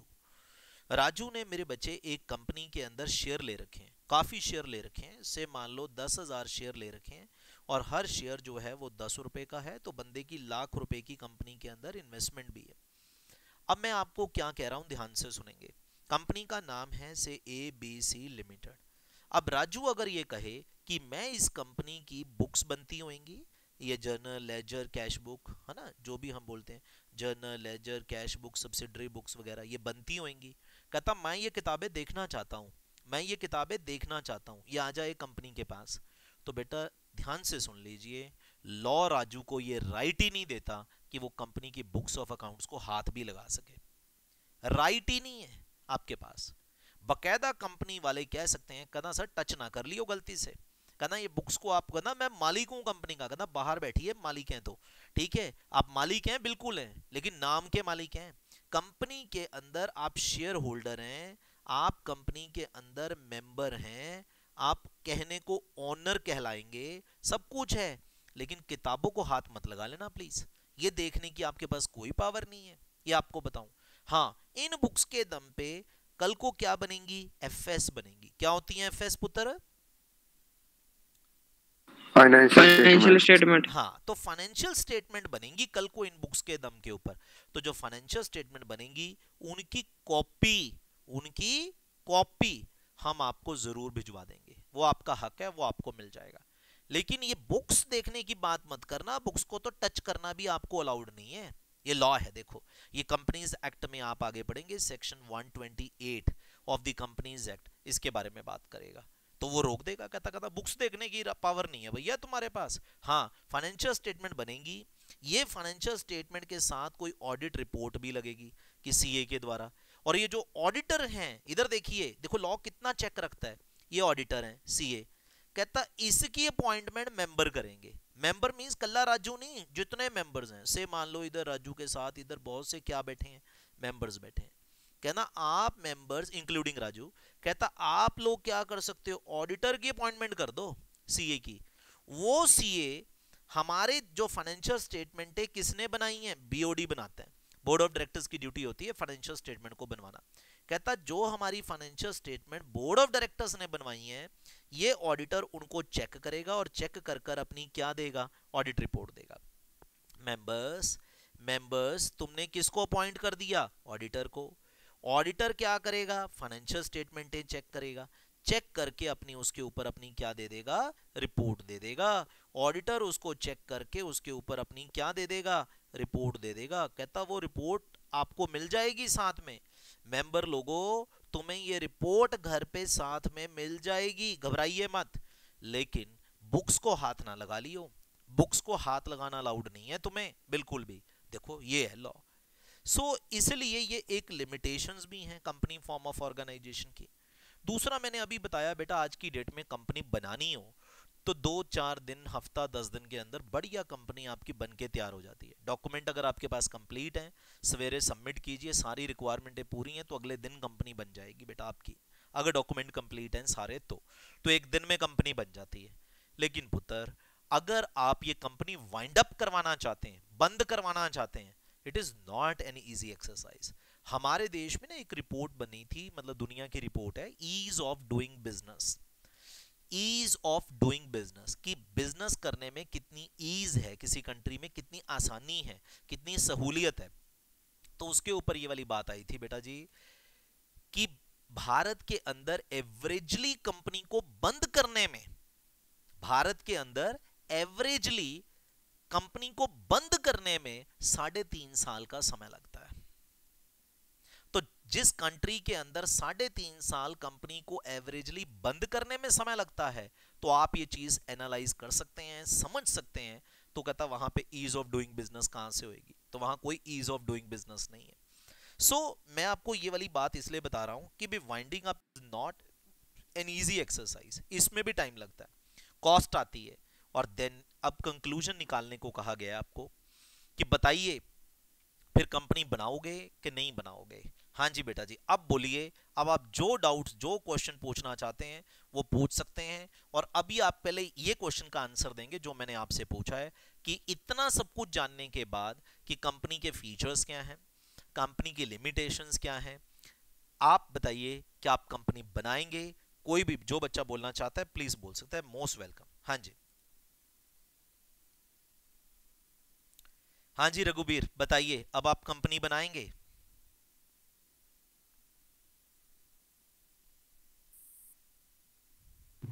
सर लगता तो नहीं नहीं ऐसी कोई घबराने वाली बात नहीं है। कंपनी बिल्कुल बनानी चाहिए। तो आ, एक मिनट एक मिनट कौन बोल रहा है? जसप्रीत सिंह बोल रहे हैं। हाँ जी जसप्रीत जी बताइए। अगर लिमिटेशन से ज़्यादा फ़र्क नहीं पड़ा तो बना लेंगे। हाँ हाँ बिल्कुल। कहता जी, ऐसे कोई थोड़ी है। इतनी, बेटा ये देखने को लिमिटेशन है। देखने को लिमिटेशंस हैं। देखो, कोई भी काम करते हो बेटा, उसकी लिमिटेशंस तो होती हैं। मैं कह रहा हूँ डांस कर रहे हो। अरे गिर गए तो टांग टूट जाएगी। कितने के लोग गिरते हैं? तो डांस करना छोड़ दें क्या? कितने के लोग गिरते हैं डांस करते समय? हाँ गिरते हैं डांस करते समय। ये नहीं है कि डांस करते समय गिरते नहीं है। तो इसका मतलब थोड़ी है। साइकिल चलाना चलाना शुरू कर रहे हो। और मैं बोलूँ, मैं कहा, बेटा गिर गया ना, बाजू टूट जाएगी। हाँ लोग गिरते हैं बट कितने लोग गिरते हैं और कितनों की बाजू टूटती है यार?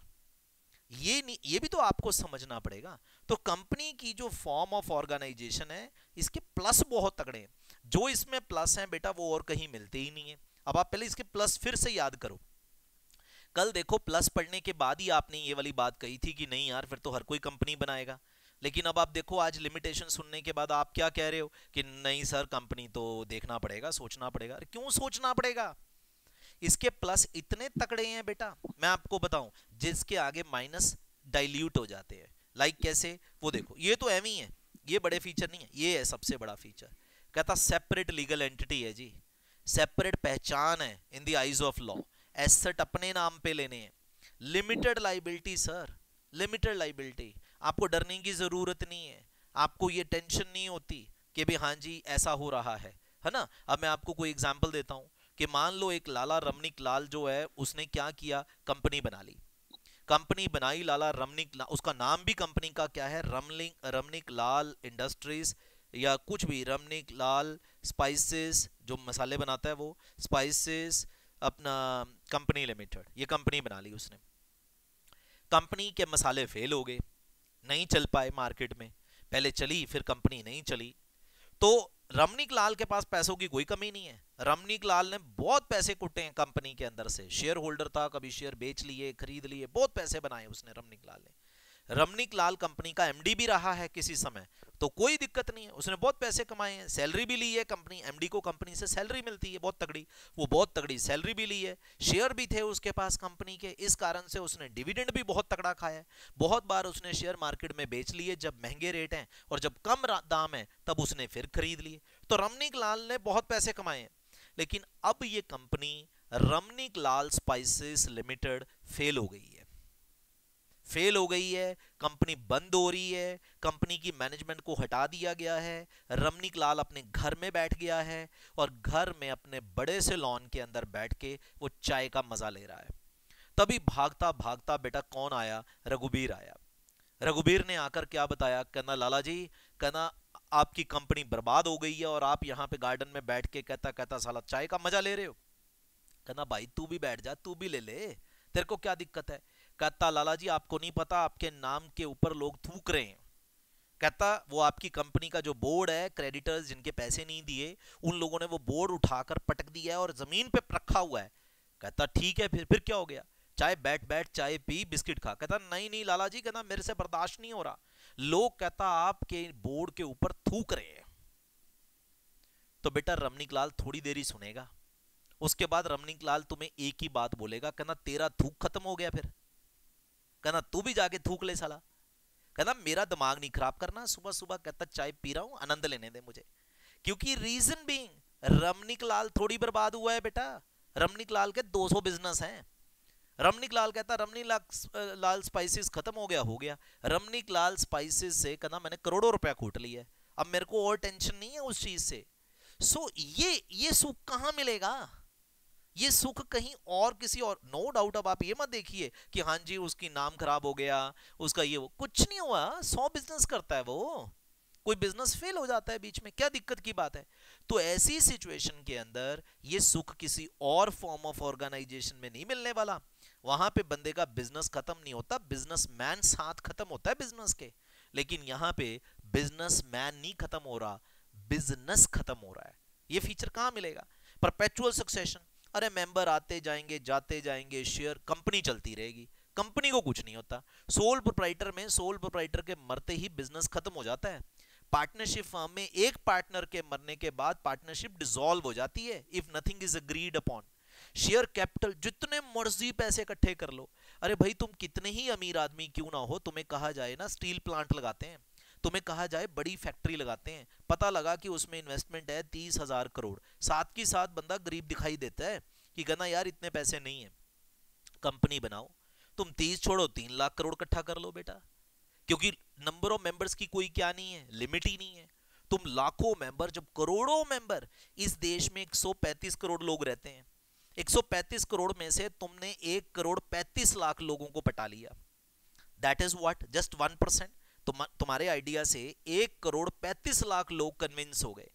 तो बेटा अगर एक करोड़ पैंतीस लाख कन्विंस हो गए हर बंदे ने सिर्फ़ तुम्हें आप ये लेके चलो दस दस हज़ार रुपए दे दिए एवरेजली किसी ने ज़्यादा दिए किसी ने कम दिए। तो बेटा तुमने सोचा है तुम्हारे पास कितने पैसे हो गए? तुम्हारे पास तेरह हज़ार पाँच सौ करोड़ रुपए इकट्ठे हो गए। सो so, ये कंपनी फॉर्म ऑफ़ ऑर्गेनाइजेशन की ब्यूटी है ये कहीं और नहीं है। शेयर ट्रांसफरेबल है। जब चाहो वहाँ बेच लो जिस मर्ज़ी को शेयर बेच लो किसी से पूछना नहीं है। पार्टनरशिप फॉर्म में ना आपको बढ़ाएँगे कि पार्टनरशिप फर्म में मान लो तीन पार्टनर हैं। ठीक है? A partner B partner C partner इनको आपस में लग रहा है कहता काफ़ी देर पार्टनरशिप फॉर्म चला ली अभी जल नहीं कर रही। तो सी कहता, मैं अपना स्टेक बेचना चाहता हूँ। किसको बेचना चाहता हूँ? मैंने डी ढूंढ लिया, मैं डी को अपना स्टेक बेच देता हूँ। बेटा बी मान गया। बी कहता, ठीक है, बेच दे यार, अब तूने निकलना है तो निकल जा। ये ए नहीं मानता। ए कहता, ना डी के साथ पार्टनरशिप हमने नहीं करनी। आपको पता है पार्टनरशिप फर्म डिसॉल्व करनी पड़ेगी और कोई चारा ही नहीं बचा। क्योंकि रीजन बीइंग एक भी पार्टनर और इसका पार्टनरशिप फर्म में स्टेक भी 10 परसेंट है।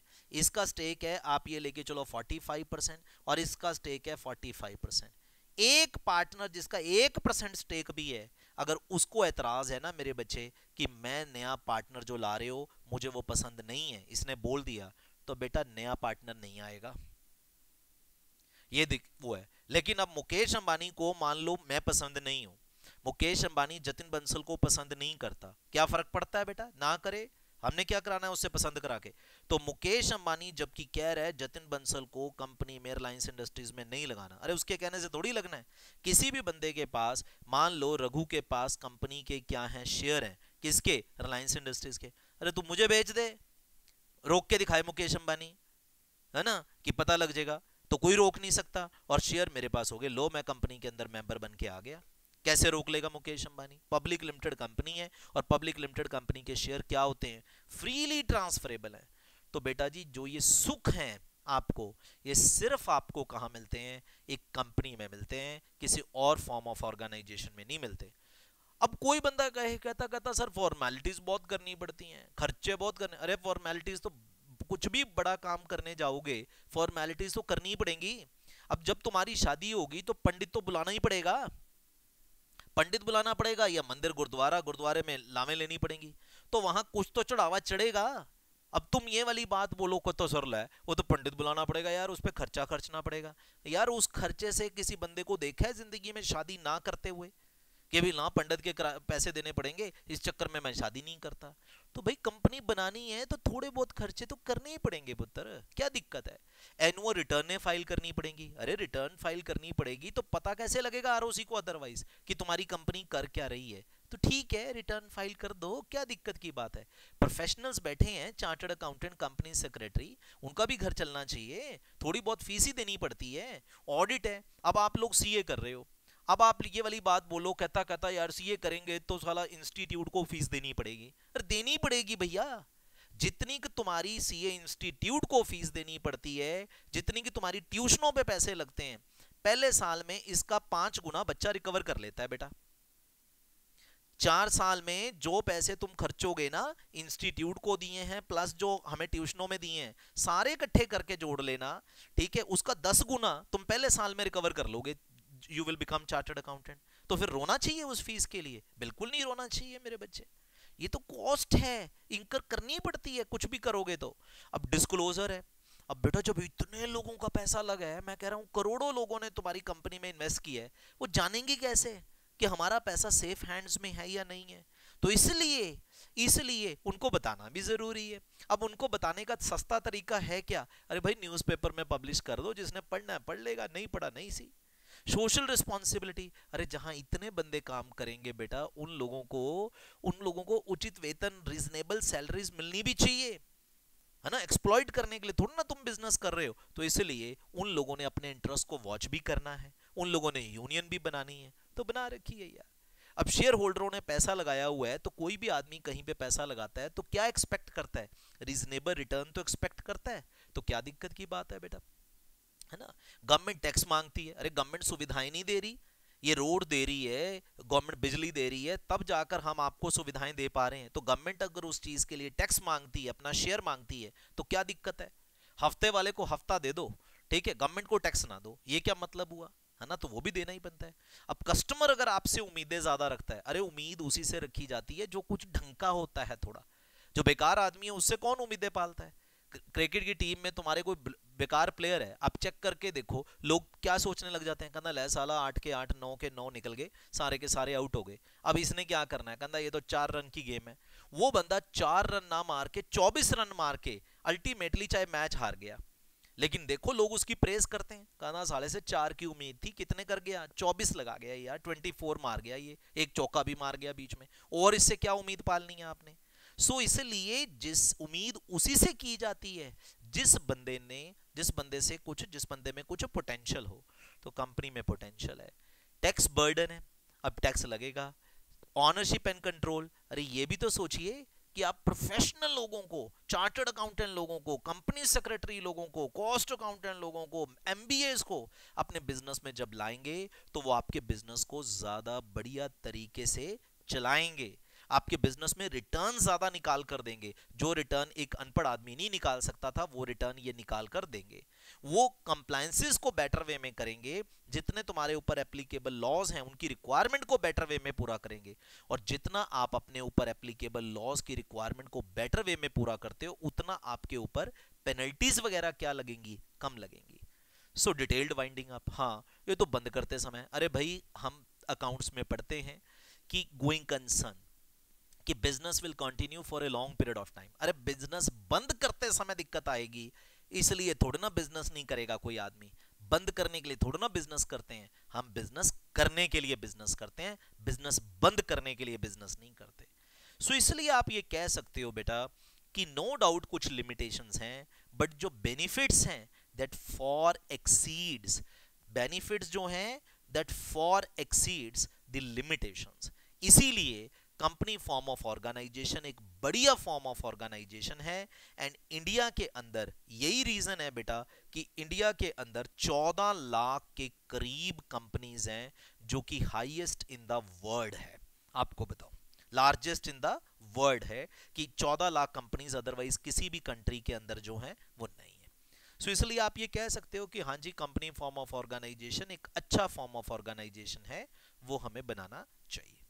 क्लियर है? अब कोई और बच्चों के जो डाउट्स हैं मैं एक बार ये पूछ लो मैं अभी वीडियो चली रही है। हाँ बोलिए प्लीज़ और जो डाउट पूछता है ना यार कैमरा से अपना ऑन कर लिया करे प्लीज़ है ना? पता भी लगे ना। हाँ जी बेटा किसी के कोई डाउट्स हैं पूछ सकता है। सर? हाँ जी कौन बोल रहा है पहले? नमन बोल रहा हाँ। रघुबीर बोल रहा है। हाँ रघुबीर बोलो। सर थोड़ा ऑफ़ टॉपिक डाउट भी है एक दो। हाँ कोई बात नहीं।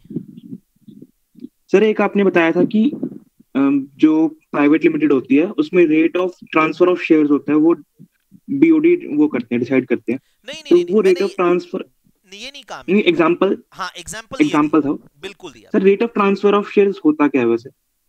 रेट मींस प्राइस पुत्र प्राइस जैसे मान लो मैंने आप मेरी बात सुनो। हम एक कंपनी बनाई हमने, अग्रवाल प्लास्टिक प्राइवेट लिमिटेड, ठीक है? आप उसमें रघुबीर अग्रवाल, आप उसमें क्या है, मेंबर हैं। आप अपने शेयर बेचना चाहते हो। तो बेटा, प्राइवेट लिमिटेड कंपनी के शेयर लिस्ट नहीं होते। प्राइवेट लिमिटेड कंपनी के शेयर का कहीं पे प्राइस नहीं आता। तो आपको पता कैसे लगेगा कि किस रेट पे शेयर बेचने हैं मैंने? तो वो रेट भी तो चाहिए ना। मान लो रघुबीर बेच के निकलना चाहता है, नमन गोयल शेयर लेना चाहता है। तो बेटा नमन को किस रेट पे बेचोगे?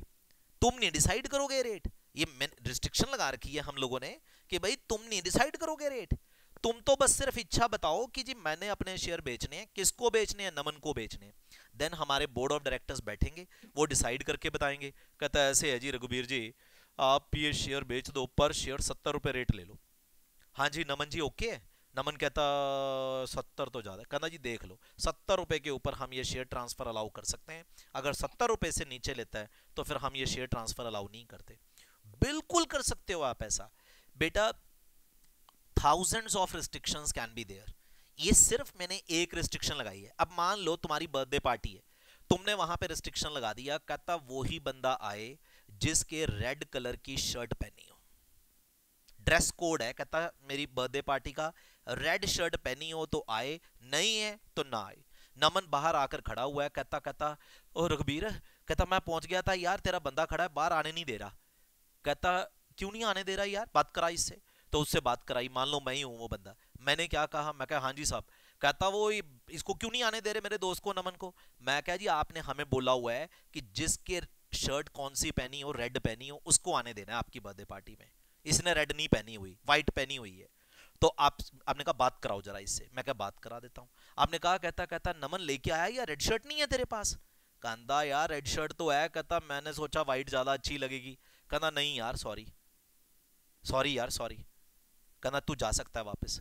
कहता, यार, मैं तेरा दोस्त हूँ। कहना दोस्त क्या करेगा यार? यहाँ पे सारी पार्टी का थीम बिगाड़ देगा तू। तो देखो, आपने रिस्ट्रिक्शन लगाई है ना, अब कोई बंदा कल को ये नमन बताता फिरे तुम्हारे कॉलेज में सबको कहना साला कहता कहता बर्थडे पार्टी पे बुलाया मुझे और वहाँ पे कहता रेड शर्ट के बारे में इसने रोला पा दिया, मेरे व्हाइट पहनी हुई थी और अंदर नहीं आने दिया इस बंदे ने मुझे। तो मुझे बताओ, कोई तेरी निंदा करेगा कि नहीं करेगा? बस ये बता दे बस। तेरे कोई फ्रेंड्स कहेंगे कि भी नमन ने गलत बात करी? बता, ये बता बस।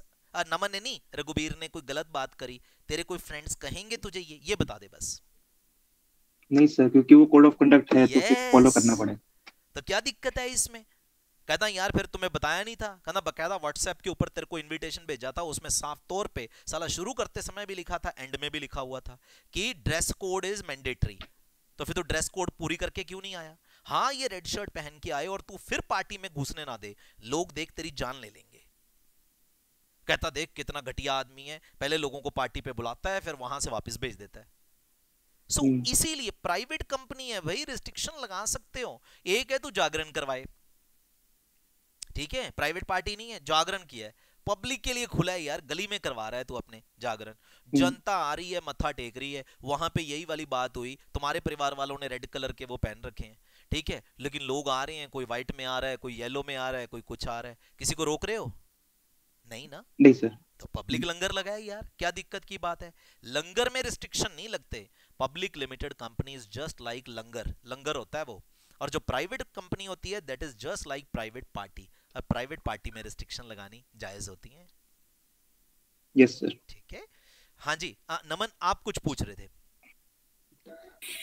ਸਰ ਜਿਵੇਂ ਤੁਸੀਂ ਉਹ ਕੋਈ ਕੇਸ ਦੱਸਿਆ ਸੀ ਬੰਦਾ ਚਾਹ ਪੀ ਰਿਹਾ ਤੇ ਕ੍ਰੈਡਿਟਰਸ ਉਹਦਾ ਬੋਰਡ ਮਤਲਬ ਪਟਕ ਰਿਹਾ ਬਾਹਰ ਕੰਪਨੀ ਦੇ। ਇੱਕ ਮਿੰਟ ਰਮਨ ਇੱਕ ਮਿੰਟ ਸਿਰਫ ਪਲੀਜ਼ ਹਾਂ ਹੁਣ ਬੋਲ ਬੇਟਾ ਥੋੜਾ ਜਿਹਾ ਸਲੋ ਹਾਂ। ਜਿਵੇਂ ਸਰ ਤੁਸੀਂ ਕੇਸ ਨਹੀਂ ਦੱਸਿਆ ਸੀ ਵੀ ਬੰਦਾ ਚਾਹ ਪੀ ਰਿਹਾ ਤੇ ਉਹ ਕ੍ਰੈਡਿਟਰਸ ਦੇ ਪੈਸੇ ਡੁੱਬ ਗਏ ਤੇ ਉਹ ਕੰਪਨੀ ਦਾ ਨਾਂ ਖਰਾਬ ਕਰ ਰਹੇ ਆ? ਹਾਂ। ਫਿਰ ਲਾਅ ਨੇ ਮਤਲਬ ਉਹਨਾਂ ਲਈ ਕੋਈ ਪ੍ਰੋਵੀਜ਼ਨਸ ਨਹੀਂ ਬਣਾਈਆਂ ਵੀ ਜੇ ਬੰਦੇ ਦੇ ਪੈਸੇ ਡੁੱਬਦੇ ਆ ਤਾਂ ਕੀ ਕਰੇ ਉਹ ਫਿਰ? जो वाइंडिंग अप तक भी पूरे नहीं होंगे सपोज़ पैसे। फिर पैसे तो बहुत ही बढ़िया क्वेश्चन नमन। देखो कंपनी के नाम बताओ पहले। जो भी कंपनी की हम बात कर रहे हैं उस कंपनी का नाम बताओ जरा क्या लिखे है? रग, मैंने नाम क्या रखा था उसका? रमणीक लाल। आगे क्या लिखा था? हाँ। स्पाइसेस आगे। लिमिटेड क्या लिखा था? लिमिटेड लिमिटेड अरे लिमिटेड लिखने का मतलब ही यही था कि तुम्हें चीख चीख के बताना कि भाई कंपनी के अंदर मेंबर्स की लाइबिलिटी लिमिटेड है।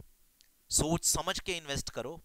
शेयर मार्केट में जब कभी इन्वेस्ट करते हैं म्यूचुअल फंड में कहीं इन्वेस्ट करते हैं तुमने एक लाइन पढ़ी है नीचे? जल्दी जल्दी में बोलते हैं investment in market mutual funds are subject to market risk ऐसे सब्जेक्ट टू मार्केट रिस्क हाँ ये लाइन तो नमन अपनी फ़ोटो तो दिखा दे यार।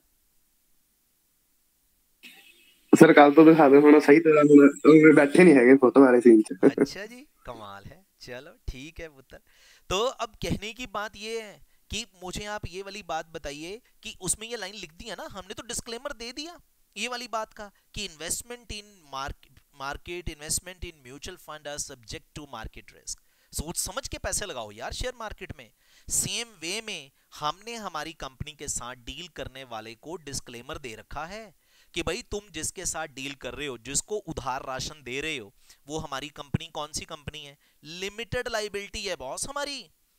इसका मतलब अगर तुम्हें अब भी है पसंद तो ठीक है, हमारे से डील कर लो। और अगर तुम्हें लगता है कि नहीं नहीं, ये तो लिमिटेड लाइबिलिटी है, मैं नहीं इसके साथ डील करना चाहता, क्योंकि इनकी तो लाइबिलिटी लिमिटेड है तो मत करो फिर। इसलिए आप ये नहीं कह सकते कि उनके इंटरेस्ट को लॉ प्रोटेक्ट करेगा।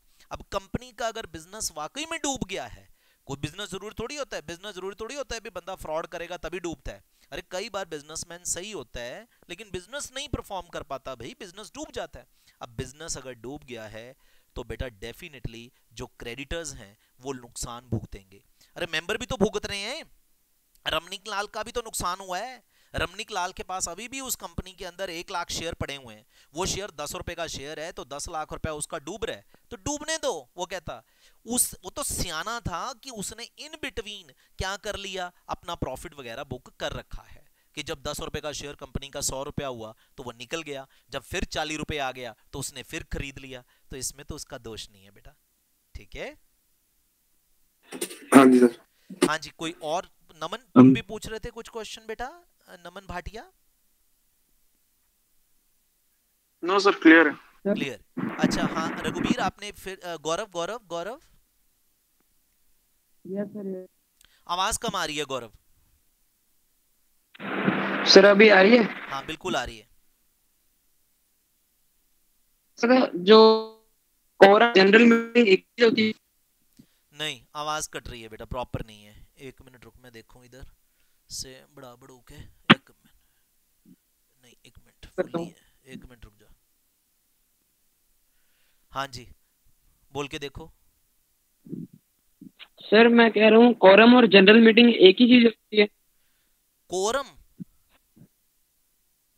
यस सर नहीं बच्चे नहीं नहीं नहीं। जर्नल मीटिंग कोरम तो होते हैं minimum number of person to transact the business इधर देखो एक वर्ड अभी मैंने बोला नहीं आप लोगों को, लेकिन बता देता हूँ।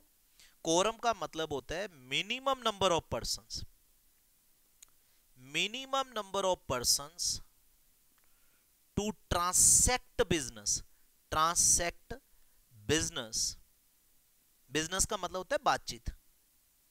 एट मीटिंग कि मीटिंग के अंदर बिज़नेस को ट्रांसेक्ट बातचीत करने के लिए कम से कम कितने बंदे चाहिए, उसको बोलते हैं quorum that is called quorum. Law में ना डिफाइंड है कि कितनी कोरम कम से कम आनी चाहिए।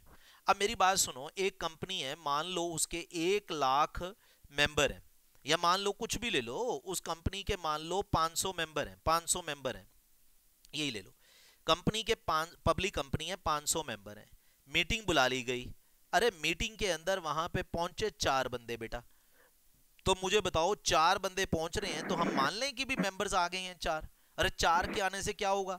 तो लॉ में इसमें ना बंदे स्पेसिफाई किए हुए हैं, भी जो 500 हैं, उनके कम से कम कितने आने चाहिए? पाँच ज़रूर आने चाहिए। सो अगर चार बंदे आकर कुछ ट्रांसैक्ट करते हैं तो बेटा लॉ मान के चलेगा मीटिंग ही इनवैलिड है। इनवैलिड इसलिए क्योंकि तुम्हारे यहाँ बंदे ही चार थे। जबकि लॉ में लिखा हुआ है कि कम से कम कितने बंदे चाहिए? पाँच। कहीं लिखा हुआ है पाँच, कहीं लिखा हुआ है पंद्रह, कहीं लिखा हुआ है तीस। जो मिनिमम लिखे हैं दैट इज़ कोल्ड कोरम ये कोरम है बेटा जी। ठीक है? ओके सर ओके सर हाँ जी। और कोई बच्चा कुछ पूछना चाहता है? मोस्ट वेलकम सर अगर कंपनी के आउटसाइडर है तो हाँ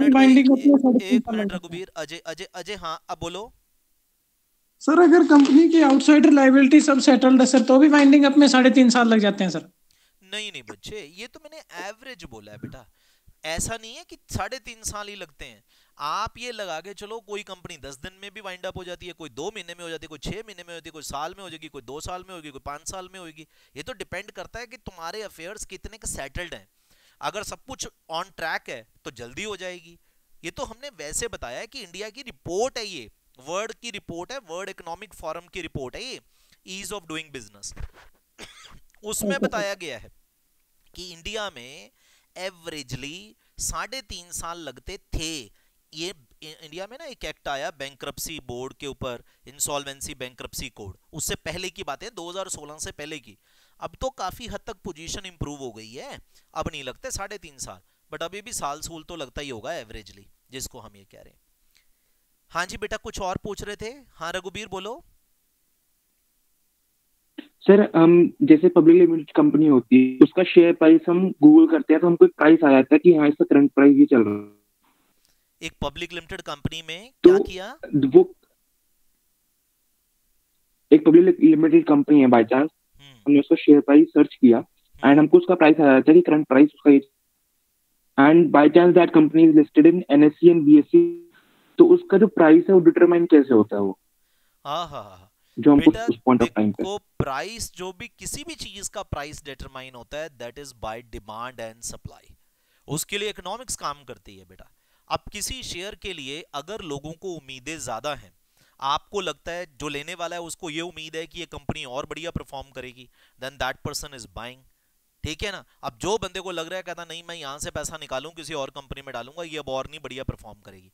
दैट पर्सन इज़ सेलिंग तो ये तो डिमांड सप्लाई की गेम है, जो प्राइस डिटरमाइन होता है। शेयर मार्केट में जिस रेट पे लास्ट रेट पे जिस पे ट्रेडिंग हुई है एल बोलते हैं लास्ट ट्रेडेड प्राइस वो करंट मार्केट प्राइस के रूप में शेयर शो होता है on the stock exchange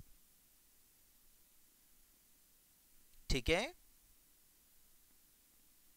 yes sir हाँ जी. वो अलग अलग हाँ, उसमें स्टॉक एक्सचेंजेस में एक वो है लिस्टेड एंड बीएससी अलग अलग है. हाँ. एंड लास्ट जो ट्रेडेड प्राइस है वो स्टॉक एक्सचेंजेस में डिफरेंट है. तो हाँ, हम कैसे तो डिटरमाइन करते हैं प्राइस क्या है? स्टॉक एक्सचेंज के ऊपर ट्रेडिंग हो रही है ना?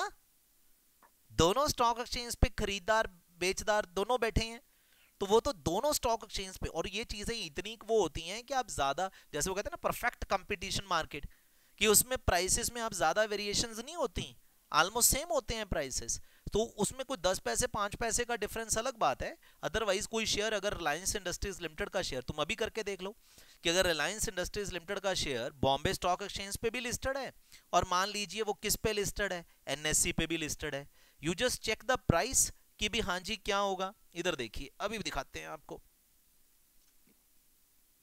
R I L share price अब आप देखो इसको। ये किस पे रेट है? अब ये रेट आ रहा है ना यहाँ पे, ये एनएससी लिखा हुआ है, पुत्र देख एनएससी इधर दिख रहा है ये? एनएससी का रेट है रिलायंस का उन्नीस सौ पचानवे रुपए नब्बे पैसे। Got it 1995.90 this is the rate on NSC ले अब यहीं पे कहीं पे बीएससी का रेट भी होगा।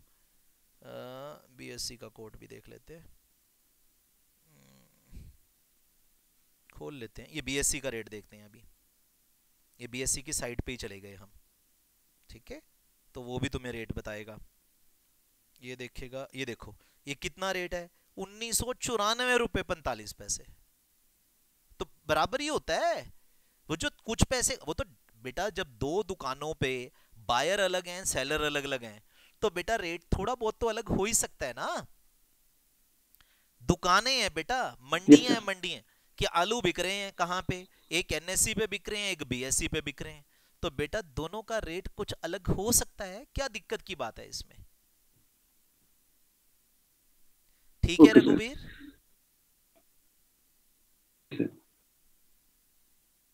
हाँ जी बेटा कोई और बच्चा कुछ पूछना चाहता है? चलो ठीक है सर फिर एक हमने डिस्कस किया था। हाँ हाँ। सर एक हमने डिस्कस किया था डिविडेंड पहले तो फ़ोटो लेके आप नहीं यार। आधी आवाज़ तो ना बंदे की फ़ोटो से पता लग जाती है कि वो क्या बोल रहा है। बंदा लिप पढ़ लेता है कि भी हाँ जी ये बोल रहा है। क्लैरिटी हो जाती है। हाँ प्लीज़ बताइए जल्दी। टाइम हो गया क्लास का। हाँ जी सर। सर एक डिविडेंड टैक्स जो पे करना होता है कंपनी को हम्म, वो आपने बोला कि अब इस साल से क्या है जो शेयर होल्डर है वो पे करता है डिविडेंड टैक्स सही। ना तो सर बीच में अभी अ, मैंने कहीं पे सुना था कि जो जो डिविडेंड डिस्ट्रीब्यूशन टैक्स है वो कैंसिल हो गया तो डिविडेंड पे टैक्स नहीं देना पड़ता तो वो क्या चीज़ थी फिर? तो वही यही तो पढ़ा रहा हूँ। वो यही सेम चीज़ तो बोली आपने जो मैंने बोली आपको। ये देखिए इधर। मैंने क्या लिखा इधर? देखिए इसको ईयर देखिए इसके। आपको यही बताया गया बेटा कि 2019-20 तक क्या था?